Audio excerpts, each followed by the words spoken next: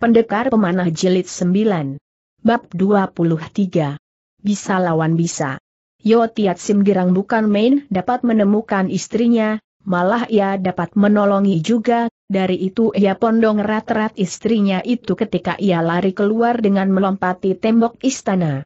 Di bawah tembok, Liam Chu menantikan ayahnya dengan pikiran tegang. Ia tidak sabaran dan cemas juga. Ia heran ketika ia lihat ayahnya kembali dengan memondong seorang wanita. Ayah, siapa ini ia lantas tanya. Inilah ibumu sahut ayah itu. Mari lekas kita menyingkir. Liam Chu kaget dan heran. Ibuku ia menegasi. Perlahan Tiat Sim mengasih ingat. Sebentar kita bicara, ia sudah lantas lari. Kira-kira serintasan, Pau Sayok tersadar. Ketik ayat Fajar sudah menyingsing, di antara cahaya pagi remang-remang, ia lihat orang yang memondongnya, ialah suami yang ia buat pikiran siang dan malam. Ia heran hingga ia menyangka ia sedang bermimpi. Ia ulur tangannya, akan meraba muka suaminya. Toako, apakah aku juga sudah mati ia tanya. Ia percaya suaminya itu sudah meninggal dunia. Tiat Sim girang hingga ia mengucurkan air mata. Kita tidak kurang suatu apa, sahutnya halus. Ia berhenti dengna tiba-tiba sebab kupingnya segera dengar suara berisik berupa teriakan-teriakan dan melihat cahaya terang dari banyak obor. Satu barisan serdadu sedang lari mendatangi. Ia dengar nyata, jangan kasih lolos penjahat yang menculik Ong Hui. Tiat Sim menjadi kecil hatinya. Ia melihat ke sekelilingnya, ia tidak dapatkan tempat untuk menyembunyikan diri. Di dalam hatinya ia kata, Tian mengasihani aku hingga hari ini aku dapat bertemu sama istriku kembali, kalau sekarang akan terbinasa, tak usah aku menyesal lantas ia kata pada anaknya, Liam Chu, anakku, kau peluklah ibumu. Sejenak itu terbayanglah di matanya Pau Sahyok pengalamannya 18 tahun yang lampau, pada peristiwa di Dusun Guki Chun di kota Liman, di kampung halamannya itu. Ia dipondong oleh suaminya dan dibawa lari sekuat-kuatnya, di dalam gelap petang mereka dikejar tentara. 18 tahun lamanya mereka telah berpisah, ia berduka dan terhina saking terpaksa, atau sekarang, baru saja ia bertemu kembali dengan suaminya, peristiwa dahulu bakal terulang pula. Maka ia rangkul leher suaminya, tidak mau ia melepaskannya. Menampak tentara pengejar datang semakin dekat, Yo Tiat Sim menjadi nekat daripada terhina ia rela terbinasa dalam pertempuran. Dari itu ia paksa melepaskan rangkulan istrinya itu yang ia serahkan kepada anak gadisnya. Ia lantas lari memapaki tentara pengejarnya. Dalam dua tiga gebar saja, ia telah dapat merampas sebatang tombak. Senjata ini membangunkan semangatnya, ia bagaikan harimau tumbuh sayap. Opsir yang memimpin pasukan itu bernama Tung Chou Tek, dia kena ditusuk pahanya hingga ia terjungkal dari kudanya, atas mana tentaranya lantas kabur serabutan. Tanpa pemimpinnya, mereka ketakutan. Lega juga hatinya Tiat Sim yang mengatui pasukan itu tidak dipimpin oleh opsir yang kosen, ia pun menyesal yang ia tidak sempat merampas kuda musuh. Tidak ayal lagi, ia ajak istri dan anaknya lari terus. Setelah terang tanah, Pau Sahyok dapatkan suaminya berdarah di sana-sini. Ia menjadi kaget sekali. Kau terluka ia tanya. Ditanya begitu, tiba-tiba saja Tiat Sim merasakan sakit pada belakang telapakan tangannya baru sekarang ia ingat tadi ia telah dismabar sepuluh jari tangannya Wanyen Kang, hingga tangannya itu mengeluarkan darah, karena repot melarikan diri, ia tidak rasai itu, ia lupa pada sakitnya. Sekarang ia pun merasakan kedua lengannya sakit dan sukar digeraki. Pau Sahyok lantas balut tangan suaminya itu. Hampir itu katu kembali terdengar suara sangat berisik, lalu terlihat debu mengepul baik dan mengulak. Itulah tandanya satu pasukan besar lagi mendatangi. Sudahlah, tak usah dibalut kata Tiat Sim sambil menyeringai. Ia lantas menoleh kepada gadisnya dan kata, anak, kau menyingkirlah seorang diri. Ibumu dan aku akan berdiam di sini. Liam Chu tidak menangis, hatinya tegang sekali. Ia menginsyafi bahaya, Tapi ia menajadi tenang. Ia angkat kepala ni. Biarlah kita bertiga mati bersama katanya. Gagah. Seo heran, ia mengawasi nona itu. Dia, dia mengapa adalah anak kita dia tanya. Tiat Sim hendak menjawab istrinya tetapi ia daptakan tentara itu sudah semakin mendekat, justru itu, di lain jurusan ia melihat datangnya dua imam yang satu berkumis dan rambutnya ubanan, wajahnya sangat berwales asih, yang lain kumisnya abu-abu, sikapnya gagah, di belakangnya tergendol sebatang pedang. Melihat mereka itu, Yo Tiat Sim tercengang, lantas ia sadar. Dalam kegirangan sangat, ia berseru menyapa salah satu imam itu, KH Utotiang, hari ini kembali aku bertemu denganmu. Imam itu memang Tiang Chun Chu KH Ucieki serta saudara seperguruannya, Tan Yang Cuma Giok. Mereka hendak menempati janji dengan Giok yang Chuong Chiet, akan bertemu di kota raja, guna membicarakan urusan Pibu dengan pihak Kang Lam Liok Ai berdua mereka datang dengan terburu-buru, di luar dugaan, di sini mereka bertemu dengan Yo Tiat Sim suami istri. KH Ucieki telah sempurna iwa akangnya, maka sekalipun telah bertambah 18 tahun umurnya, wajahnya tetapi seperti dahulu hari itu, cuma rambutnya yang berubah. Karena itu ia tidak lantas mengenal waktu ia dipanggil dan melihat Tiat Sim, hingga ia mengawasi saja. Tiat Sim bisa menduga orang lupa padanya, ia berkata, apakah Toti yang masih ingat peristiwa 18 tahun yang lampau di Dusun Guki Cundiliman, tatkala selagi kita minum arak kita menumpas musuh. Jadinya Chuan menegaskan imam itu. Aku yang rendah ialah Yo Tiat Sim, Tiat Sim berkata cepat. Semoga Toti yang tidak kurang suatu apa. Habis berkata, orang Sio itu lantas menjatuhkan diri berlutut di depan orang suci itu. Tiang Chun Chu lekas membalas hormat, tetapi ia tetap ragu-ragu. Setelah hampir 20 tahun, disebabkan penderitaannya, Tiat Sim berubah romen dan suaranya juga. Orang Shio ini bisa mengerti kesangsiannya si imam. Di lain pihak hatinya tegang melihat tentara pengejar telah mendatangi semakin dekat. Mendadak saja ia geraki tombaknya dan menikam imam itu dengan tipu tombaknya. Ia pun berseru, KH Utotiang, kau telah melupakan aku tetapi kau tentu tidak dapat melupakan ini ilmu tombak dari keluarga Yo. Tiang Chun Chu terkejut tetapi ia mundur. Ia lantas mengenali ilmu tombaknya keluarga Yo itu, maka sekarang ia ingat betul peristiwa 18 tahun dulu ketika ia mencoba ilmu silat orang. Ia menjadi girang bercampur terharu dapat bertemu sama kenalan lama ini. Oh, Yo Lao Te, katanya kau masih hidup. Tiat Sim tarik pulang tombaknya. Ia tidak sahuti imam itu, hanya lantas ia kata, Totiang, tolongilah aku. Imam itu bisa mengerti keadaan orang. Ia menoleh ke arah tentara pengajar. Lantas ia tertawa. Suheng, hari ini kembali aku mesti membuka pantangan membunuh katanya, kepada saudara seperguruannya. Aku harap kau tidak gusari aku.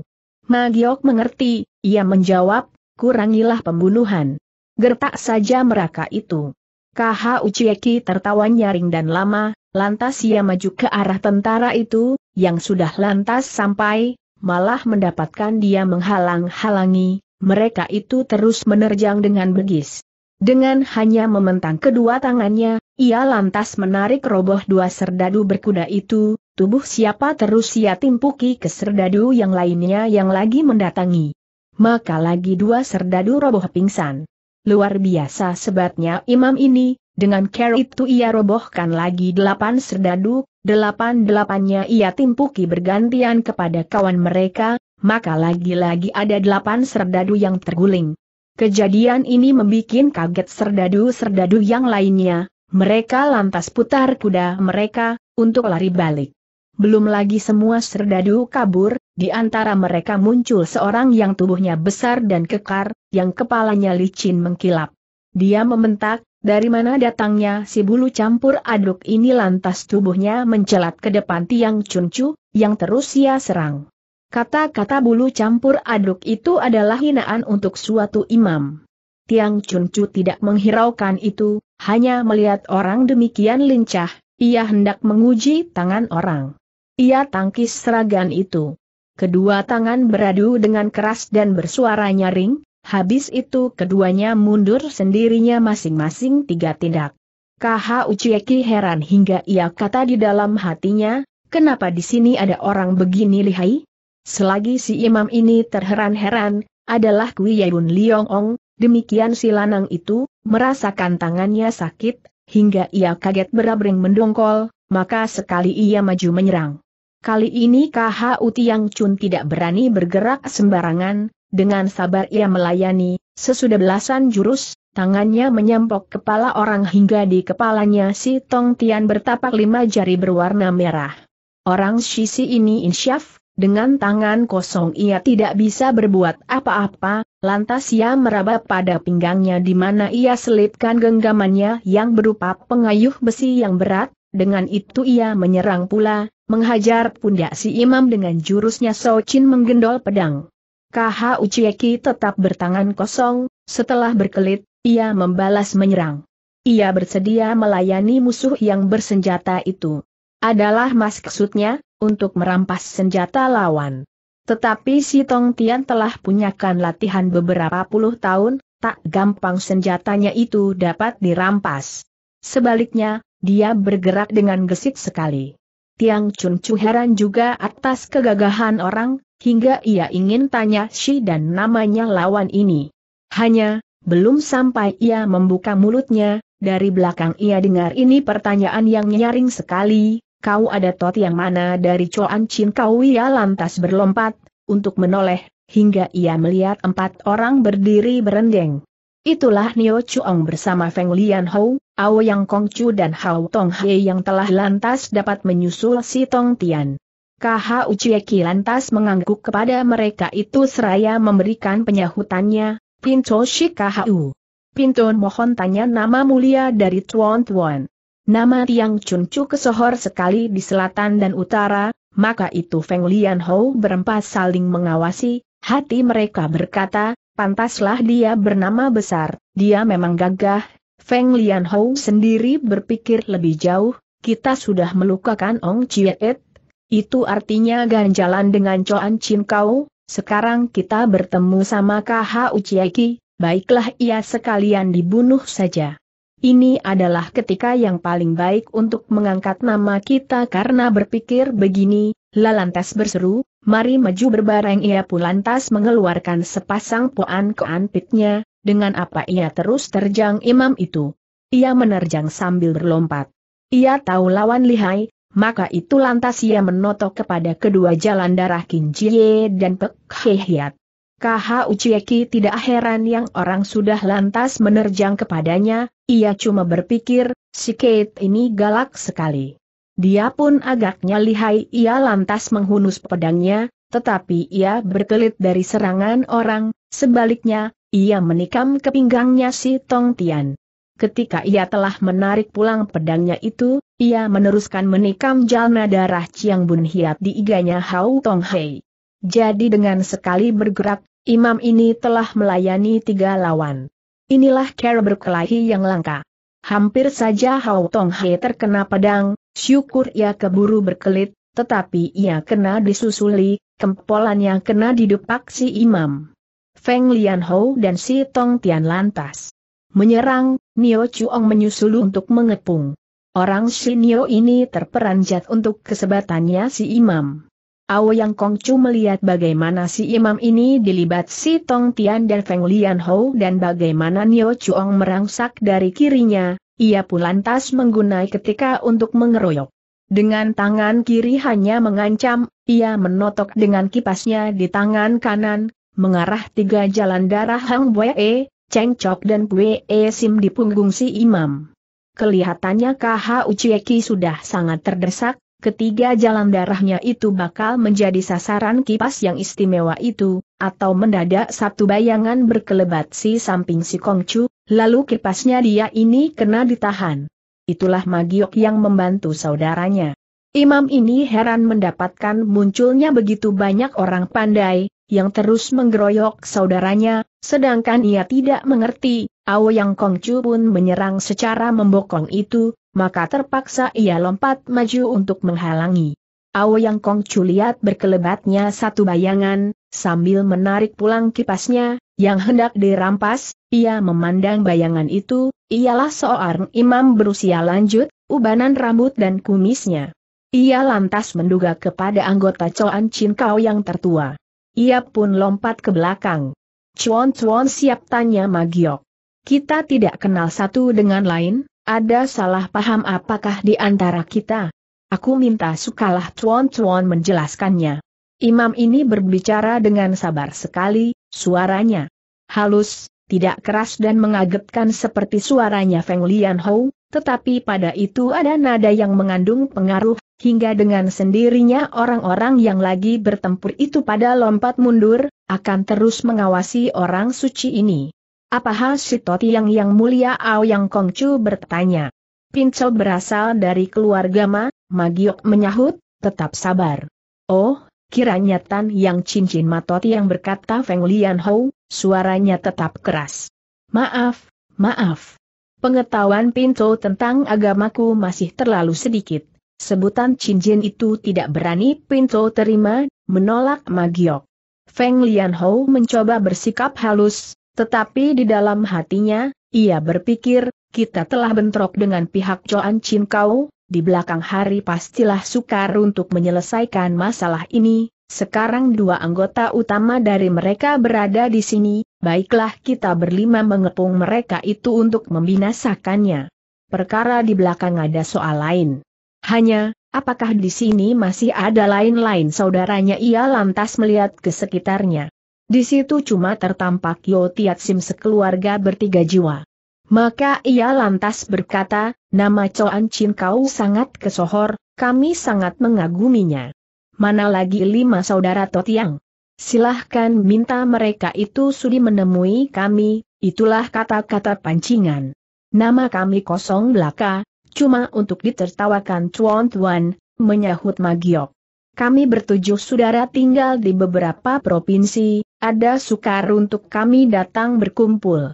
Kali ini kami datang ke Tiong Tou untuk mencari Ong Sutue, baru saja kami mendapat tahu alamatnya, justru kami hendak menjenguk dia, di sini kebetulan kita bertemu sama tuan-tuan. Ilmu silat di kolong langit ini banyak perbedaannya tetapi asal mulanya adalah satu, maka itu bagaimana pula jikalau kita mengikat persahabatan. Imam ini jujur, ia tidak menduga bahwa orang lagi memancing padanya. Feng Lian Hou girang sekali. Orang cuma berdua dan mereka belum sempat menemui Ong Chie maka boleh ia mengeroyok. Tapi ia masih tertawa, ia berkata, Toti yang berdua tidak mencela kami, Itulah bagus sekali. Aku si Sam dan namaku Hek Miao. Magiok dan KH Ucieki heran, mereka pikirkan siapa Sam Hek Miao ini, yang namanya aneh. Nama itu berarti tiga kucing hitam. Sama sekali mereka belum pernah mendengarnya. Orang toh lihai. Feng Lian Hou selipkan senjatanya di pinggangnya, ia menghampirkan Magiok. Matot yang, Aku merasa beruntung dengan pertemuan kita ini, katanya seraya mengangsurkan tangannya, untuk berjabat tangan, tapi telapakan tangannya dibalik ke bawah. Magiok menyangka orang bermaksud baik, ia pun mengulurkan tangannya, buat menyambuti. Ia merasa orang memegang keras sekali, ia berpikir, kau hendak uji tenagaku, baiklah ia tersenyum, sembari tenaganya dikerahkan. Tiba-tiba ia merasakan lima jari tangannya sakit, seperti tertusuk jarum. Saking kaget, ia lantas menarik pulang tangannya itu. Feng Lian Hou tertawa tetapi ia mencelat mundur setombak lebih. Magiok melihat telapakan tangannya, lima jarinya berlobang kecil masing-masing dan bergaris hitam.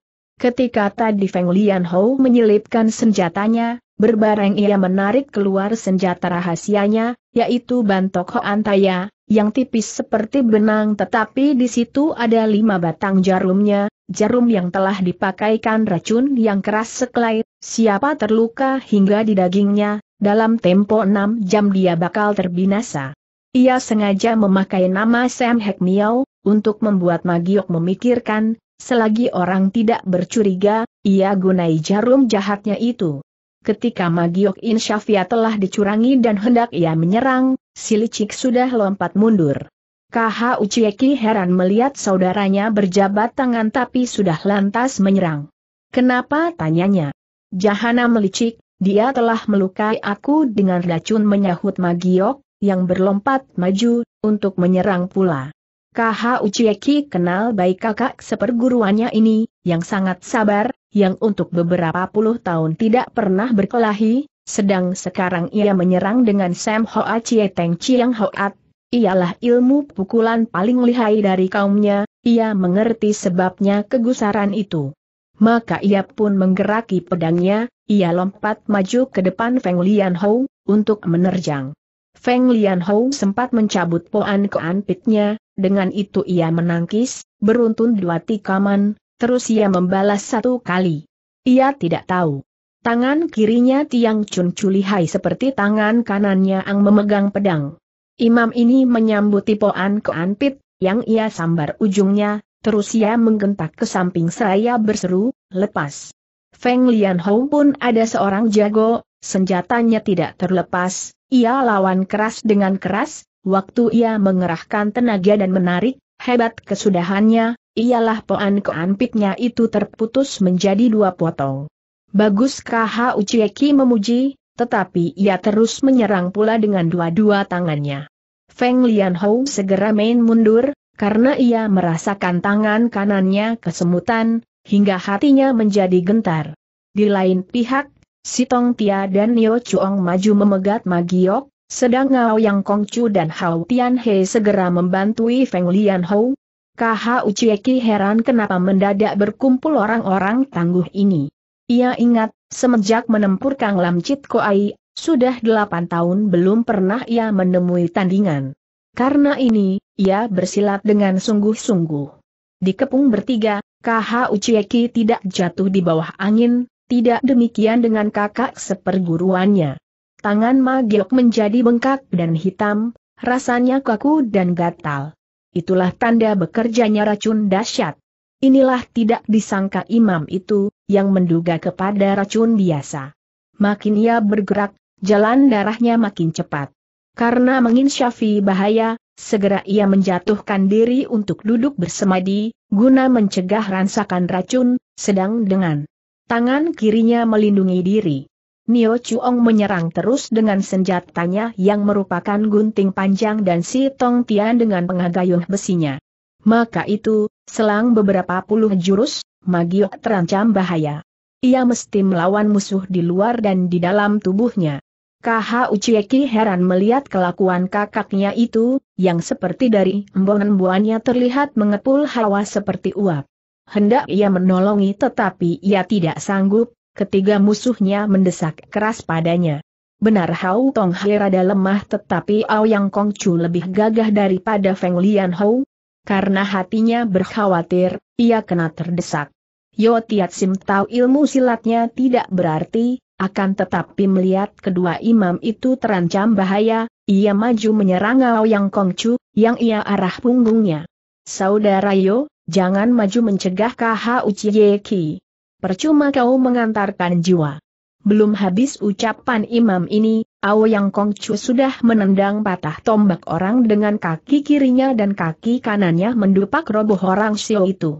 Adalah di itu waktu, dari kejauhan terdengar lari mendatanginya beberapa ekor kuda akan kemudian ternyata, yang datang itu adalah Wanyan Lieh bersama Wanyan Kang. Wanyan Lieh melihat istrinya duduk di tengah, ia girang, segera ia menghampirkan. Justru itu sebatang golok menyambar kepadanya. Syukur ia keburu berkelit. Ia segera mendapatkan penyerangnya itu. Satu nona dengan baju merah, yang goloknya lihat. Nona itu segera dikepung pengikut-pengikutnya. Wanyan Kang heran menampak gurunya dikepung, ia lantas berteriak, semua berhenti. Chuan-chuan berhenti. Pangeran ini mesti berteriak beberapa kali, barulah Feng Lian Hou semua berlompat mundur. Wanyan Kang segera menghampirkan gurunya, untuk memberi hormat. Suhu, mari Teocu mengajar kenal, katanya kemudian. Inilah beberapa ciampoe rimba persilatan yang diundang ayahku. Hektometer bersuara imam itu, yang segera menghampirkan kakaknya, yang pun sudah tidak berkelahi lagi. Ia terkejut akan melihat tangan kanan kakaknya itu menjadi hitam terus sampai di lengan. Ha, racun begini lihai serunya. Lantas ia berpaling kepada Feng Lian Hou, akan perdengarkan suaranya yang keren, keluarkan obat pemunahnya. Feng Lian Hou bersangsi, ia melihat orang segera sampai pada ajalnya. Magiok sendiri mengempos terus semangatnya, ia berhasil mencegah menjalarnya racun itu, yang perlahan-lahan mulai turun. Wanyan Kang lari kepada ibunya, ia berkata, Ma, akhirnya kita dapat cari kau. Tapi Pau Sehyok berkata dengan keras, untuk menghendaki aku kembali ke istana, tidak dapat. Wanyan Kang dan Wanyan Lieh menjadi haran. Apa kata mereka? Pau Sehyok menunjuk kepada Yotiat Sim, ia katanya ring, suamiku masih belum mati, meski ia pergi ke ujung langit dan pangkal laut, akan aku ikuti dia. Wanyan Lieh heran tetapi ia dapat segera menoleh kepada Nio Chuong. Ia mengasih tanda dengan tekukan mulutnya. Nio Chuong mengerti, sekejap saja ia telah menyerang Yotiat Sim dengan tiga batang pakunya. KH Uchiyeki yang waspada dapat melihat serangan orang Xiao itu, ia menjadi kaget. Ia tidak mempunyai senjata rahasia untuk mencegah paku itu. Tiat Sim tu tak dapat berkelit. Tapi ia tidak putus asa. Ia menyambar satu serdadu di dekatnya, tubuh orang itu ia lemparkan ke arah antara paku dan Tiat Sim. Segera terdengar jeritannya serdadu yang menjadi korban ketiga batang paku itu. Melihat itu Nio Chuong menjadi gusar, ia lompat kepada si imam untuk menerjang. Feng Lian Hou dapat melihat suasana. Ia memangnya tidak sudi menyerahkan obat pemunahnya. Tidak ayal lagi ia berlompat kepada Pau Seyok, untuk menangkap Ong Hui yang dicari Wanyan Lieh itu. KH Uchieki melihat sepak terjang orang itu, ia pun lompat menyerang, mulanya menikam Nio Chuong. Lalu membabat si orang Shifeng itu. Mereka ini berdua terpaksa lompat mundur. KH Uchieki segera menghadapi Wanyan Kang, yang ia bentak, anak tidak tahu apa-apa, kau mengaku penjahat sebagai ayahmu selama 18 tahun, hari ini kau bertemu ayahmu yang sejati, kenapa kau masih tidak hendak mengenalinya? Wanyan Kang memang telah mendengar keterangan ibunya, ia percaya itu delapan bagian, sekarang ia dengar perkataan gurunya ini, ia lantas menoleh kepada Yotiat Sim. Ia melihat seorang dengan pakaian tua dan pecah, pakaian itu kotor dengan tanah. Kemudian ia berpaling kepada Wanyan Lieh, ia tampak orang tampan dengan pakaian indah. Maka dua orang itu beda bagaikan langit dengan bumi. Ia lantas berpikir, mustahilkah aku meninggalkan kekayaan dan kemuliaan untuk mengikuti seorang melarat, untuk hidup merantau? Tidak, berlaksa kali tidak maka ia lantas berseru, Suhu, jangan dengari ocahan iblis ini. Suhu, tolonglah ibuku. KH Uchieki menjadi sangat mendengkol. Kau sesat, kau tidak sadar, kau kalah dengan binatang ia mendamprat. Feng Lian Hou melihat guru dan murid bentroh, mereka perkeras serangan mereka. Wanyan Kang juga mendapatkan gurunya dalam bahaya tetapi ia berdiam saja. Imam itu menjadi sangat murka. Binatang, lihat aku dia membentak. Wanyan Kang berdiam, hatinya ciut. Ia memang paling takut pada gurunya itu. Maka ia berharap-harap. Feng Lian Hou semua memperoleh kemenangan, supaya gurunya terbinasakan, dengan begitu ia akan selamat untuk selanjutnya. Tidak lama, lengan kanan KH Uchieki kena ditusuk ujung gunting Nio Chuong, Lukanya tidak hebat tetapi mengeluarkan darah.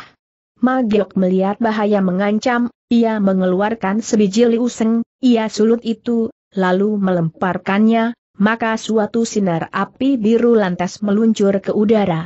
Itulah pertandaan di antara kaum Choan Chin Pei. Imam tua itu mencari kawan berseru Feng Lian Hou, lantas ia meninggalkan KH Uchieki untuk menyerang Magiok. Ia lantas dibantu si Tong Tian. Baru mereka ini bergebrak satu kali, di jurusan barat laut terlihat meluncurnya satu sinar biru juga. Ong Sute di arah kiri sana berseru KH Ucieki girang. Ia geser pedangnya ke tangan kiri terus ia menyerang hebat, hingga ia dapat membuka jalan. Ke sana berseru Magiok yang menunjuk ke arah barat laut. Yo Tiat Sim bersama Liam Chu, putrinya dengan melindungi Pau Seyok, lari ke arah yang ditunjuk itu, di belakang mereka, Magiok menyusul. Imam ini sudah berlompat bangun. KH Ucieki perlihatkan kepandaiannya, ia menghalangi di belakang. Si Tong Tian berniat mencekuk Pau Seok. Ia berlompat ke depan, tetapi semua percobaannya sia-sia belaka, ia dirintangoi kalau bukan oleh KH Ucieki tentu oleh Magiok. Tidak lama tibalah mereka di hotel kecil di mana Ong Chiet mengambil tempat. KH Ucieki heran bukan main. Kenapa Ong Sute masih belum menyambut ia berpikir. Ia baru berpikir atau ia segera melihat munculnya adik seperguruannya itu, yang jalan dibantu tongkat. Dua-dua pihak terkejut. Mereka sama-sama tidak menyangka, dari kaum Choan Chin Pei, sekarang terluka justru mereka yang paling tangguh. Mundur ke dalam hotel KH Ucieki lantas berseru. Serahkan Ong Hawi baik-baik, aku nanti ampunkan kamu semua Wanyen Lieh berseru. Siapa menghendaki pengampunan kau bangsat anjing dari negara Kim mendamprat Tiang Chuncu. Sembari membuka mulutnya, imam ini terus membuat perlawanan dengan hebat, hingga mau tidak mau, Feng Lian Hou semua mengaguminya. Yo Tiat Sim menyaksikan pertempuran itu, ia anggap tidak seharusnya KH Uchieki bertiga menjadi korbannya, maka tiba-tiba saja ia tarik tangan Seok, untuk pergi keluar, sambil ia berseru, semua berhenti. Di sinilah ajal kami.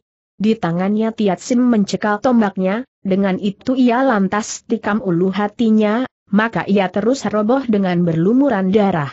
Sekyok tidak berduka karenanya, ia juga tidak tubruk suaminya itu, sebaliknya ia tertawa menyeringai, terus ia cabut tombak itu dari tubuh suaminya, untuk gagangnya ditancap ke tanah. Ia menghadap Wanyen Kang seraya berkata, anak, masih kau tidak percaya ayahmu yang sejati ini tapi ia tidak menanti jawaban, segera setelah perkataan itu, ia tubruki dirinya ke ujung tombak itu, maka ia pun roboh dengan mandi darah. Kejadian ini ada sangat obat, semua orang tidak menduganya, maka juga pertempuran berhenti sendirinya. Wanyen Kang sangat kaget, sambil menjerit, Ibu ia lari untuk menolongi ibunya itu. Ia lantas menangis melihat dada ibunya tertancap tombak. KH Ucieki lantas memeriksa lukanya kedua orang itu, ia putus asa. Wanyan Kang memeluki ibunya, dan Liam Chu ayahnya. Keduanya menggerung-gerung. Saudara Yo, berkata Tiang Chun Chu pada Tiat Sim. Kau hendak memesan apa? Kau bilanglah padaku, nanti aku lakukan semua itu. Belum lagi Tiat Sim sempat menjawab, orang pada menoleh ke arah mereka, karena mereka mendengar tindakan dari banyak kaki orang. Segera mereka melihat datangnya Kang Lam Liok Koi bersama Kue E Cheng. Enam manusia aneh itu dapat melihat si Tong Tian beramai, mereka menduga bakal terjadi pertempuran lagi, mereka lantas menyiapkan senjata mereka masing-masing ketika mereka sudah datang. Dekat, mereka menjadi heran. Di sana ada dua orang terluka dan masing-masing tengah dipeluki dan yang lainnya mengawasi dengan roman tidak wajar. Kue E Cheng kenal Lio Tiat Sim, segera ia menghampirkan. Paman Yo, kau kenapa tanyanya? Napasnya Tiat Sim sudah lemah, ia kenali anak muda itu, ia tersenyum. Dahulu hari ayahmu dan aku telah berjanji, kalau kami mendapat anak lelaki dan perempuan, kami akan berbesan, tetapi juga anak pungutku ini ada seperti anakku sendiri, ia menoleh kepada KH Uciaki, akan meneruskan, Totiang, tolong kau rekoki perjodohan ini, aku mati pun akan meram. Penangkan hatimu, saudara Yo, menyahut si imam ini. Paung Sahyo rebah di samping suaminya, tangan kirinya mencekal erat tangan suaminya itu, agaknya ia takut sekali suaminya nanti pergi. Ia seperti sudah tidak ingat apa-apa akan tetapi samar-samar ia masih dapat dengar pesan suaminya. Tiba-tiba ia angkat tangannya, untuk merogoh sakunya, dari mana ia keluarkan sebilah pisau belati, ini buktinya, katanya, lalu ia tersenyum dan berhenti jalan napasnya. KH Ucieki menyambuti pisau itu. Ia kenali pisau yang dulu hari ia berikan di Guki Chun, Leman. Pada pisau terukir terang dua huruf kue E Cheng. Yo Tiat Simpun kata pada anak muda itu, masih ada sebilah lagi, ialah di tangan ibumu. Dengan mengingat ayahmu, aku minta baik-baiklah kau perlakukan anakku ini. Aku nanti urus semua, tenangi dirimu, janji pula KH Ucieki. Yo Tiat Sim benar-benar merapatkan kedua matanya dengan tentram. Kue E Cheng berduka sekali berbareng pusing kepala. Yang Jie begitu baik terhadapku, mana bisa aku menikah dengan orang lain katanya dalam hatinya.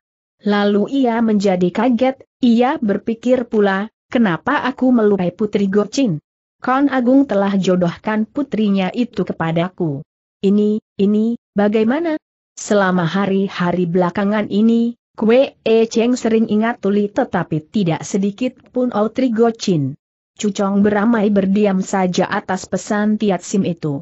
Memang mereka tidak berniat menolak pesan terakhir itu tetapi mereka tidak jelas duduknya hal, mereka tidak berani berlaku lancang. Wanyan Lieh telah mesti menghadapi kejadian hebat itu, ia berduka bukan main. Ia lantas saja memutar tubuhnya, untuk meninggalkan tempat itu.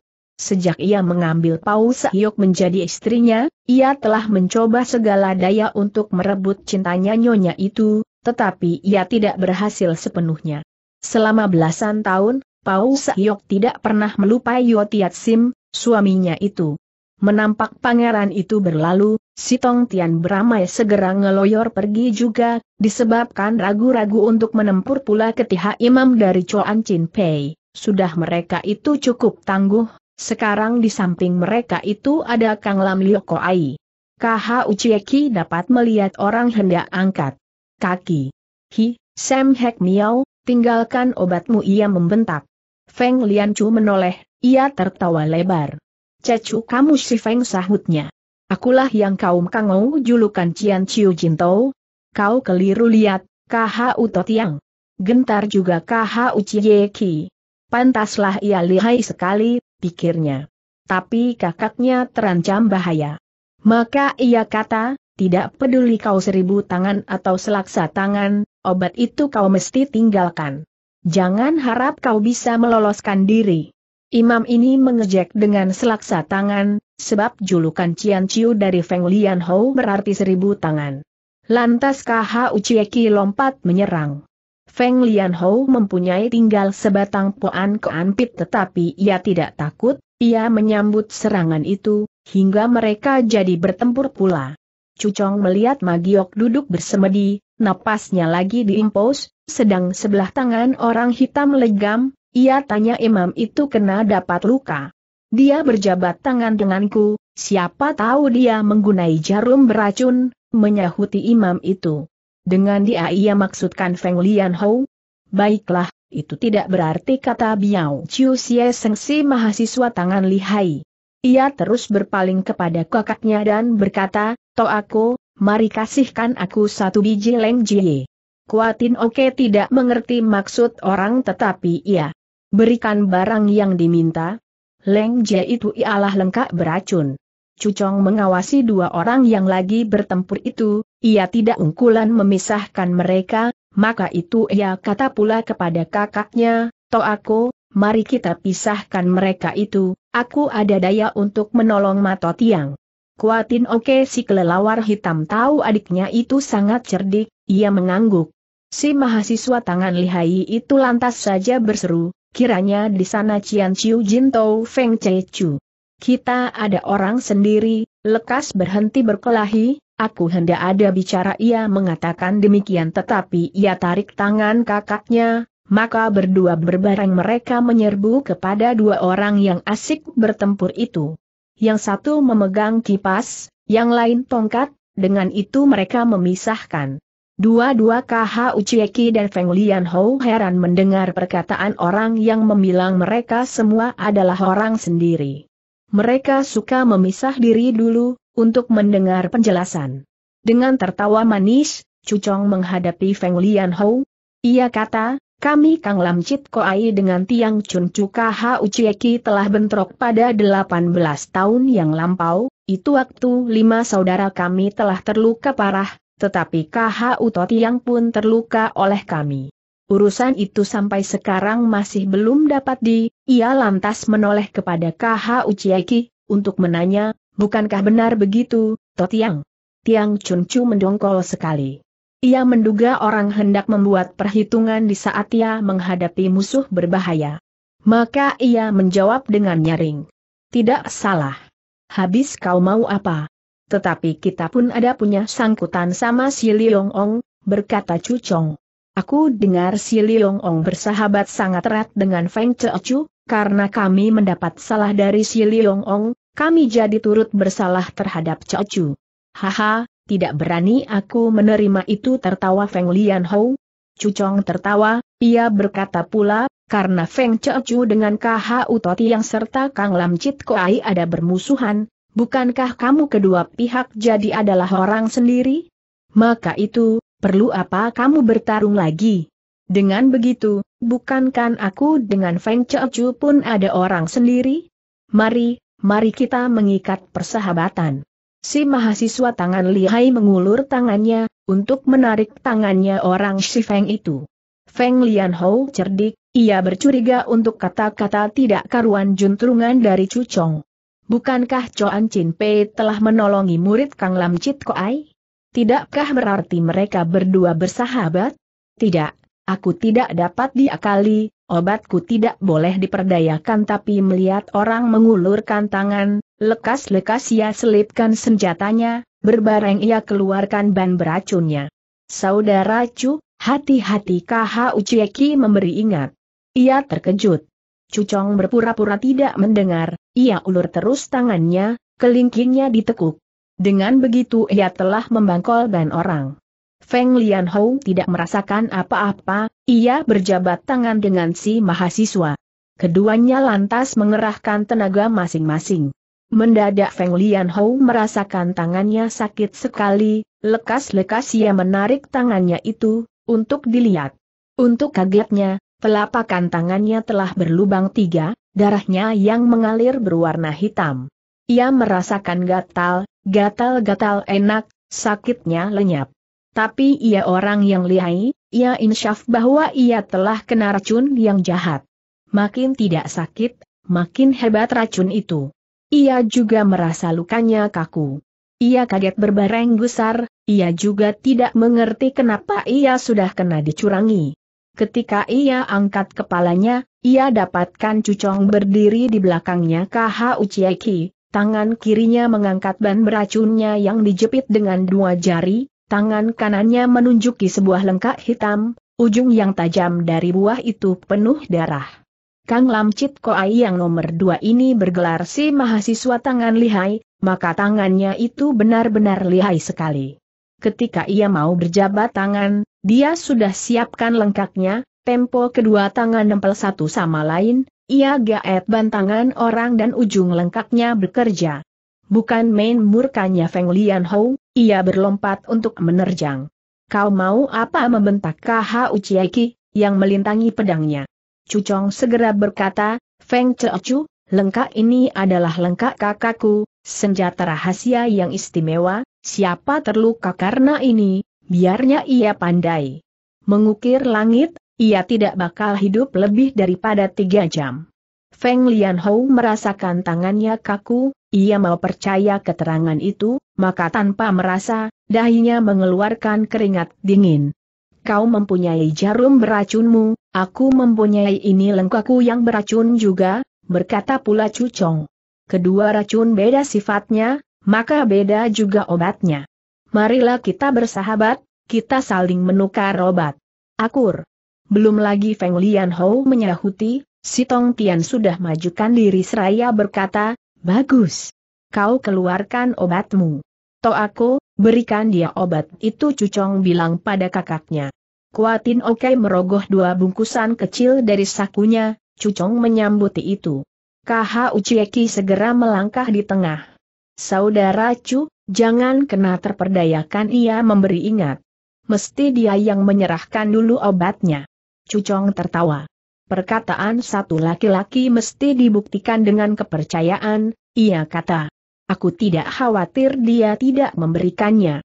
Feng Lian Hou merogoh sakunya. Mendadak mukanya menjadi pucat. Celaka serunya perlahan sekali. Obatku lenyap melihat orang ayal-ayalan, KH Ucieki murka. Hektometer, kau masih mainkan tipu iblismu ia membentak. Saudara Cu, jangan berikan. Cucong tertawa, ia berkata pula, kau ambillah. Kita ada bangsa orang budiman, kata-kata kita ada seumpama kuda dicambuk lari, aku bilang kasih tentu mesti dikasihkan. Si Tong Tian tahu tangan orang lihai, ia tidak berani menyambuti dengan tangan, sebagai ganti tangannya, ia lonjorkan senjata pengayuhnya. Cucong meletaki obat di atas pengayuh itu dan si Tong Tian menariknya, untuk menjumput itu. Orang heran dengan kejadian ini. Mengapa Cucong memberikan obatnya? Kenapa ia tidak memaksa supaya pihak sana yang memberikan obatnya terlebih dahulu? Si Tong Tian masih menyangsikan obat adalah obat yang tulen, ia kata, Kang Lam Chit Koai adalah orang-orang kenamaan, tidak dapat ia mencelakai orang dengan obat palsu. Cucong tertawa. Tidak nanti, tidak nanti ia berkata seraya dengan perlahan-lahan mengasihkan lengkapnya kepada Kuatin Oke, kemudian dari sakunya ia keluarkan beberapa rupa barang ialah sapu tangan, Kim Chie Piao, beberapa potong perak hancur serta sebuah hu putih. Feng Lian Hou melihat semua barang itu, ia melengak. Itulah semua barang kepunyaannya. Ia heran kenapa semua itu ada di tangan lain orang. Ia tidak menyangka, selagi berjabat tangan, Cucong telah perlihatkan kepandaiannya. Cucong buka tutupnya Hu itu, yang di dalamnya terbagi dua di situ ada obat bubuk masing masing berwarna merah dan abu-abu. Bagaimana ini dipakainya ia tanya Feng Lian Hou? Yang merah untuk dimakan, yang abu-abu untuk diboreh, sahut Cu itu terpaksa. Cucong menoleh kepada Kue E Cheng. Lekas ambil air. Juga dua buah mangkok ia menyuruh. Bocah itu lari ke dalam hotel, untuk mengambil mangkok dan air, maka sebentar kemudian ia sudah mulai merawat Magiok mangkok yang satunya ia mau kasihkan kepada Feng Lian Hou. Tunggu dulu mencegah Cucong. Kasihkan pada Ong Totiang. Kue E Cheng melengak tetapi ia serahkan mangkok itu. Ong Chiet juga heran. Eh, bagaimana dipakainya dua bungkus obat kamu ini si Tong Tian menanya. Ia tidak sabaran. Tunggu sebentar, jangan kesusu Cucong bilang. Baru satu jam tiga per empat menit, dia tidak bakal mati, sembari berkata, Cucong mengeluarkan sari sakunya belasan bungkus obat. Melihat itu kue E Cheng girang bukan buatan. Itulah obatnya Ong Toti yang ia berseru. Ia lantas menyambuti semua obat itu, ia bukai bungkusannya dan letaki di depan Ong Chie Tia kata, Totiang, pilihlah sendiri mana yang kau butuhkan.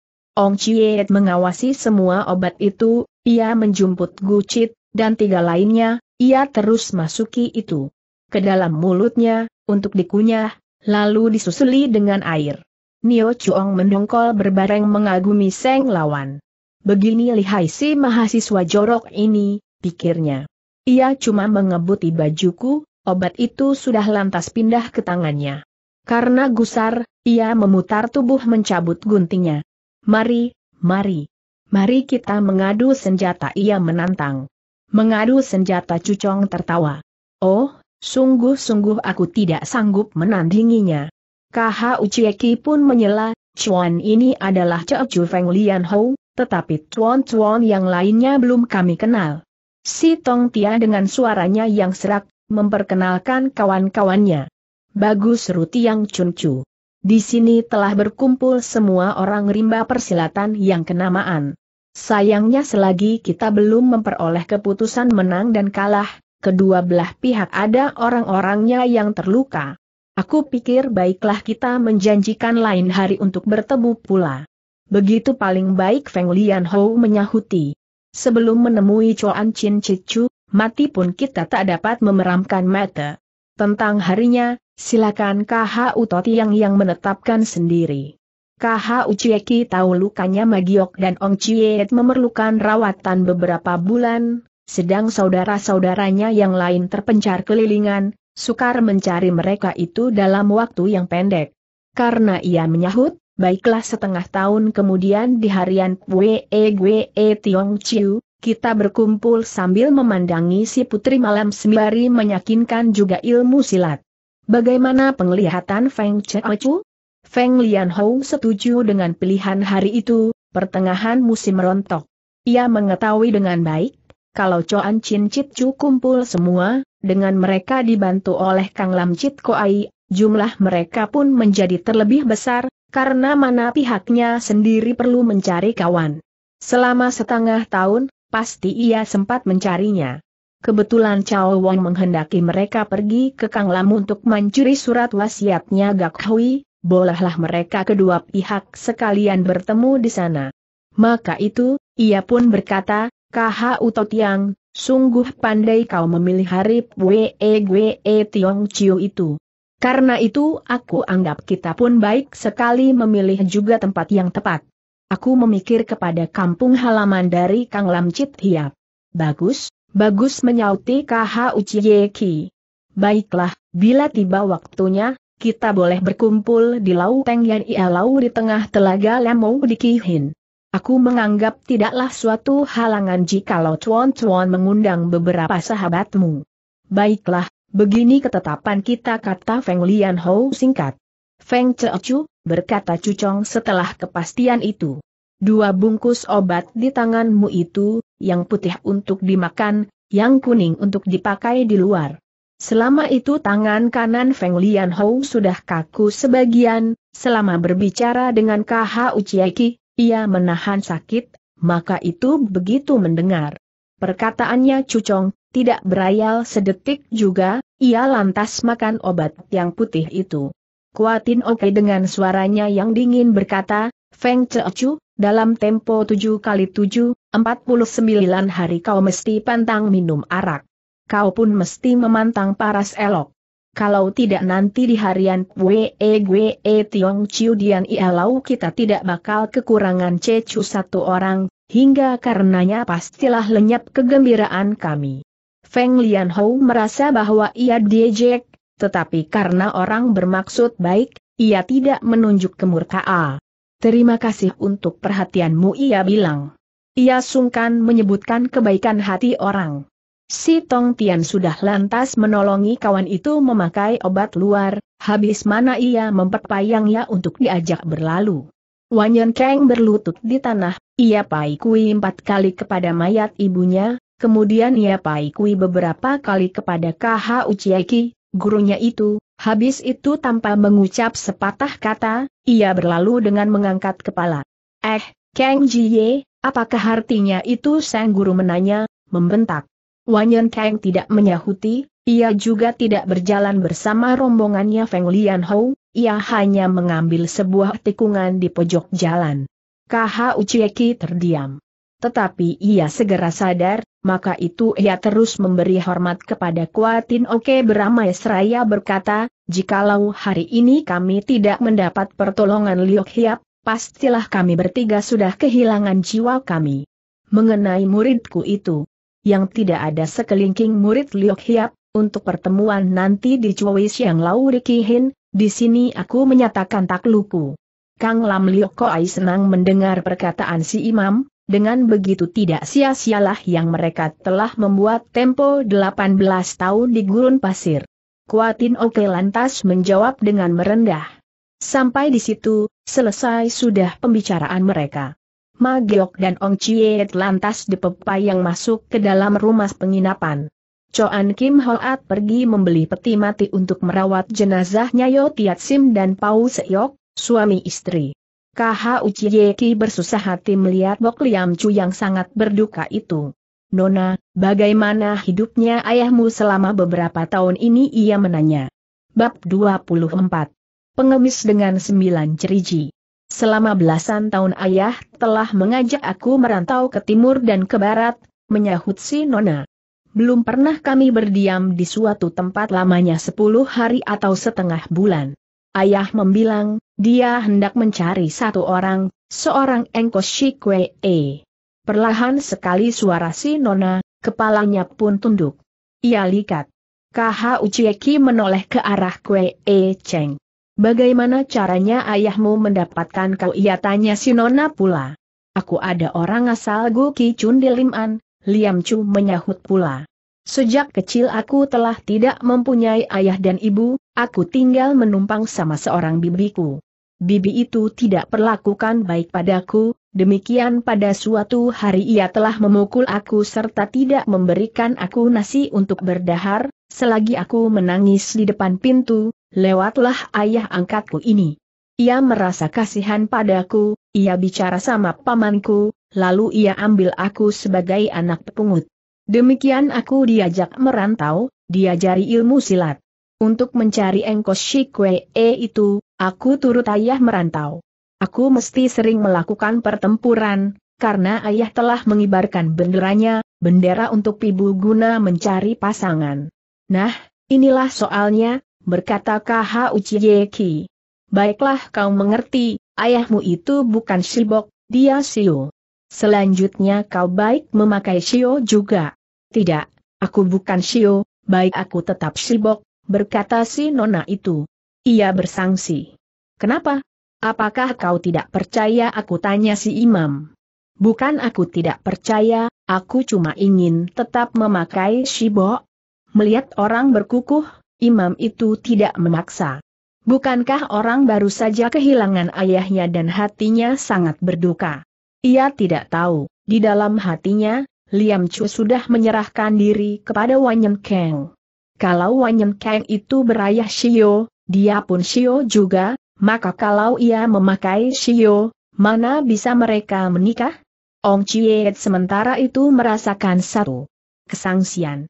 Setelah makan dan pakai obat, ia merasa segar, sembari rebah di pembaringan, ia mendengari pembicaraan saudaranya dan nona itu. Ia ingat bagaimana si nona bertanding sama Wanyen Kang. Eh, tanyanya, kau bilang kau diajari silat oleh ayahmu, kenapa buktinya kau lebih gagah daripada ayahmu itu? Itulah disebabkan pada suatu hari ketika aku berumur 13 tahun, aku bertemu sama seorang berilmu, Liam Chu menyaut. Untuk tiga hari lamanya dia ajarkan aku ilmu silat. Sayang otakku buta, tidak dapat aku mewariskan semua pelajaran yang diajarkan itu, kata si Nona pula. Jikalau ia cuma mengajarkan tiga hari, kenapa kau jauh lebih lihai daripada ayahmu imam itu menanya pula. Siapakah orang berilmu itu? Maaf, Totiang, bukannya aku berani mendusta, sebenarnya aku telah mengangkat sumpah, dari itu tidak berani aku menyebutkan namanya. Ong Chiet berdiam, ia tidak menanya lebih jauh. Tapi ia berpikir terus, ia mengingat-ingat ilmu silatnya si Nona selama dia melayani Wanyen Kang. Sekian lama ia masih tidak mengingatnya, ia tidak dapat mengenali. Hal ini membuatnya bertambah heran. KH Usuko, akhirnya ia tanya kakaknya, Bukankah kau telah mengajari Wanyen Kang selama delapan atau sembilan tahun? Tepatnya sembilan tahun enam bulan, menjawab KH Uchiyeki. Ah, aku tidak sangka sekali bocah itu ada begini punya tidak berbudi. Ah, benar-benar aneh Cit It bilang. Chieki heran. Kenapa tanyanya? Cit It diam, ia tidak memberi jawaban. KH Utotiang, Tin Oke menanya. Bagaimana caranya kau dapat mencari turunannya Yoto Ako itu? Itulah terjadi secara kebetulan, sahut Tian Chun Chu. Semenjak kita membuat perjanjian, aku pergi. Ke mana-mana mencari turunan kedua keluarga Yo dan Kue E itu. Selama beberapa tahun, aku tidak memperoleh hasil. Karena ini aku merasa bahwa dalam halnya ibu, pihak kami pastilah kalah. Tapi aku tidak putus asa. Aku mencari terus. Kembali aku balik ke Guki Chun. Pada suatu hari aku melihat beberapa hamba negeri pergi ke rumahnya saudara Yo itu, mereka mengangkut pergi semua barang perabotan rumah tangga. Aku heran, lantas aku menguntit mereka. Di luar dugaan mereka, aku mendapat dengar pembicaraan mereka. Nyatanya mereka bukanlah sebarang orang. Merekalah pengikut-pengikutnya Pangeran Chao Wang dari negara Kim, mereka sengaja datang untuk mengangkuti isi rumahnya saudara Yo. Mereka bilang, tidak boleh ada barang yang kurang, tak terkecuali bangku, meja dan tombak serta luku juga. Oleh karena itu aku heran, aku jadi bercuriga, maka aku menguntit mereka terus sampai di Tiong Tau. Mendengar sampai di situ, Kue E Cheng sadar. Selama berdiam di dalam gedung Pangeran Chao Wang, ia pernah melihat kamarnya Pau Sehyok serta perlengkapannya. Ia heran seorang istri pangeran, tetapi perlengkapan rumahnya sangat miskin. KH Ucieki melanjuti keterangannya, malamnya aku pergi memasuki gedung pangeran itu. Ingin aku mendapat kepastian apa perlunya barang-barang demikian diangkut jauh-jauh, dibawa ke istana. Setelah aku memperoleh kenyataan, aku menjadi sangat gelusar berbareng berduka dan terharu sekali. Ternyata Pau Seok, istrinya saudara Yo itu, sudah menjadi Ong Hui, menjadi istrinya Pangeran Chao Wang itu. Saking murkanya, berniat aku lantas membunuh Soyok itu. Kemudian aku mengubah pikiranku itu. Segera aku mendapat kenyataan, Soyok tinggal di sebuah rumah batu yang kecil, di situ ia memeluki dan mengusap-usap tombaknya saudara Yo, semalam-malaman ia menangis saja. Teranglah ia tidak dapat melupakan suaminya itu. Karena itu, aku batal membunuhnya. Kemudian lagi aku mendapat keterangan, putranya Pangeran Chao Wang itu adalah putranya saudara Yo. Lewat lagi beberapa tahun, setelah usianya Wan Yan Kang bertambah, aku mulai memberikan dia pelajaran ilmu silat. Mungkinkah itu binatang sampai sebegitu jauh belum mengetahui asal-usulnya sendiri Tin Oke menanya. Tentang itu pernah aku mencoba mencari tahu, berkata KH Uchieki. Aku mendapat kenyataan ia telah terpengaruh sangat harta dan kemuliaan, karena itu, aku tidak lantas membeber rahasianya. Aku pikir hendak menunggu sampai ia bertemu dan pibu sama Kue E Sieng, baru aku hendak mengakurkan mereka, untuk kemudian menolongi ibunya, untuk pernahkan mereka di suatu tempat tersembunyi. Aku tidak sangka sama sekali, sebenarnya saudara Yo masih hidup, malah bersama-sama saudaraku, kita kena terpedayakan hingga beginilah pengalaman kami yang pahit. Ah! Mendengar itu, Bok Liam Chu menangis seraya menutupi mukanya. Kue E Cheng lantas turut bicara, menuturkan bagaimana dia bertemu sama Yo Tiat Sim, dan bagaimana mereka bertemu juga sama Pau Sehyok pada malam itu. Semua orang lantas memuji Pau Seyok, yang ternoda saking terpaksa, tetapi akhirnya dia berkorban untuk kehormatannya untuk cinta sucinya terhadap suaminya. Setelah itu, pembicaraan mereka beralih kepada soal bertanding nanti di bulan ke-8. Seluruh anggota Choan Chin Pei bakal hadir, apalagi yang dibuat khawatir berkata Cucong. Aku berkhawatir mereka mengundang banyak kawan hingga jumlah kita menjadi terlebih sedikit. Magiok mengutarakan kekhawatirannya. Bisakah mereka mengundang banyak orang pandai Ciaki bertanya. Bukan begitu, Sutue, berkata Tan Yang Chu seraya menghela napas. Selama beberapa tahun ini aku benar telah memperoleh banyak kemajuan, hingga kau dapat memancarkan pengaruh partai kita, akan tetapi di sebelah itu, jangan kita melupakan, tidak dapat kita bertemerang dan menuruti adat muda. Ciaki tertawa. Jadi kita harus ketahui, bahwa di luar langit ada yang terlebih tinggi, di atas orang pandai ada lagi orang yang terlebih pandai katanya. Memang begitu. Lihat saja beberapa orang tadi. Bukankah mereka itu tak ada di bawahan kita? Coba mereka dapat mengundang lagi beberapa orang, maka dalam pertemuan Dian Ialawit sukar ditentukan dari sekarang, siapa bakal kalah, siapa bakal menang, Jawab Magiok lagi. Tapi mungkinkah kita Coan Chin Pei bakal roboh di tangannya beberapa jahanam itu KH Ucieki menegasi. Segala apa tak dapat diduga, saudaraku. Buktinya ialah kejadian tadi. Kalau tidak ada Kuato Ako dan Chujieko datang membantu, bukankah akan runtuh nama baik kita yang sejak beberapa puluh tahun? Tidakkah kita bertiga bakal kehilangan nyawa kita di sini kata Magiok. Tin Oke dan Cucong lekas-lekas merendahkan diri. Mereka itu telah menggunakan akal muslihat, kata mereka. Kemenangan mereka itu tak dapat dibuat sebutan. Magiok menghela napas. Memang kita harus berhati-hati, katanya. Lihat saja Ciu Suslo kita.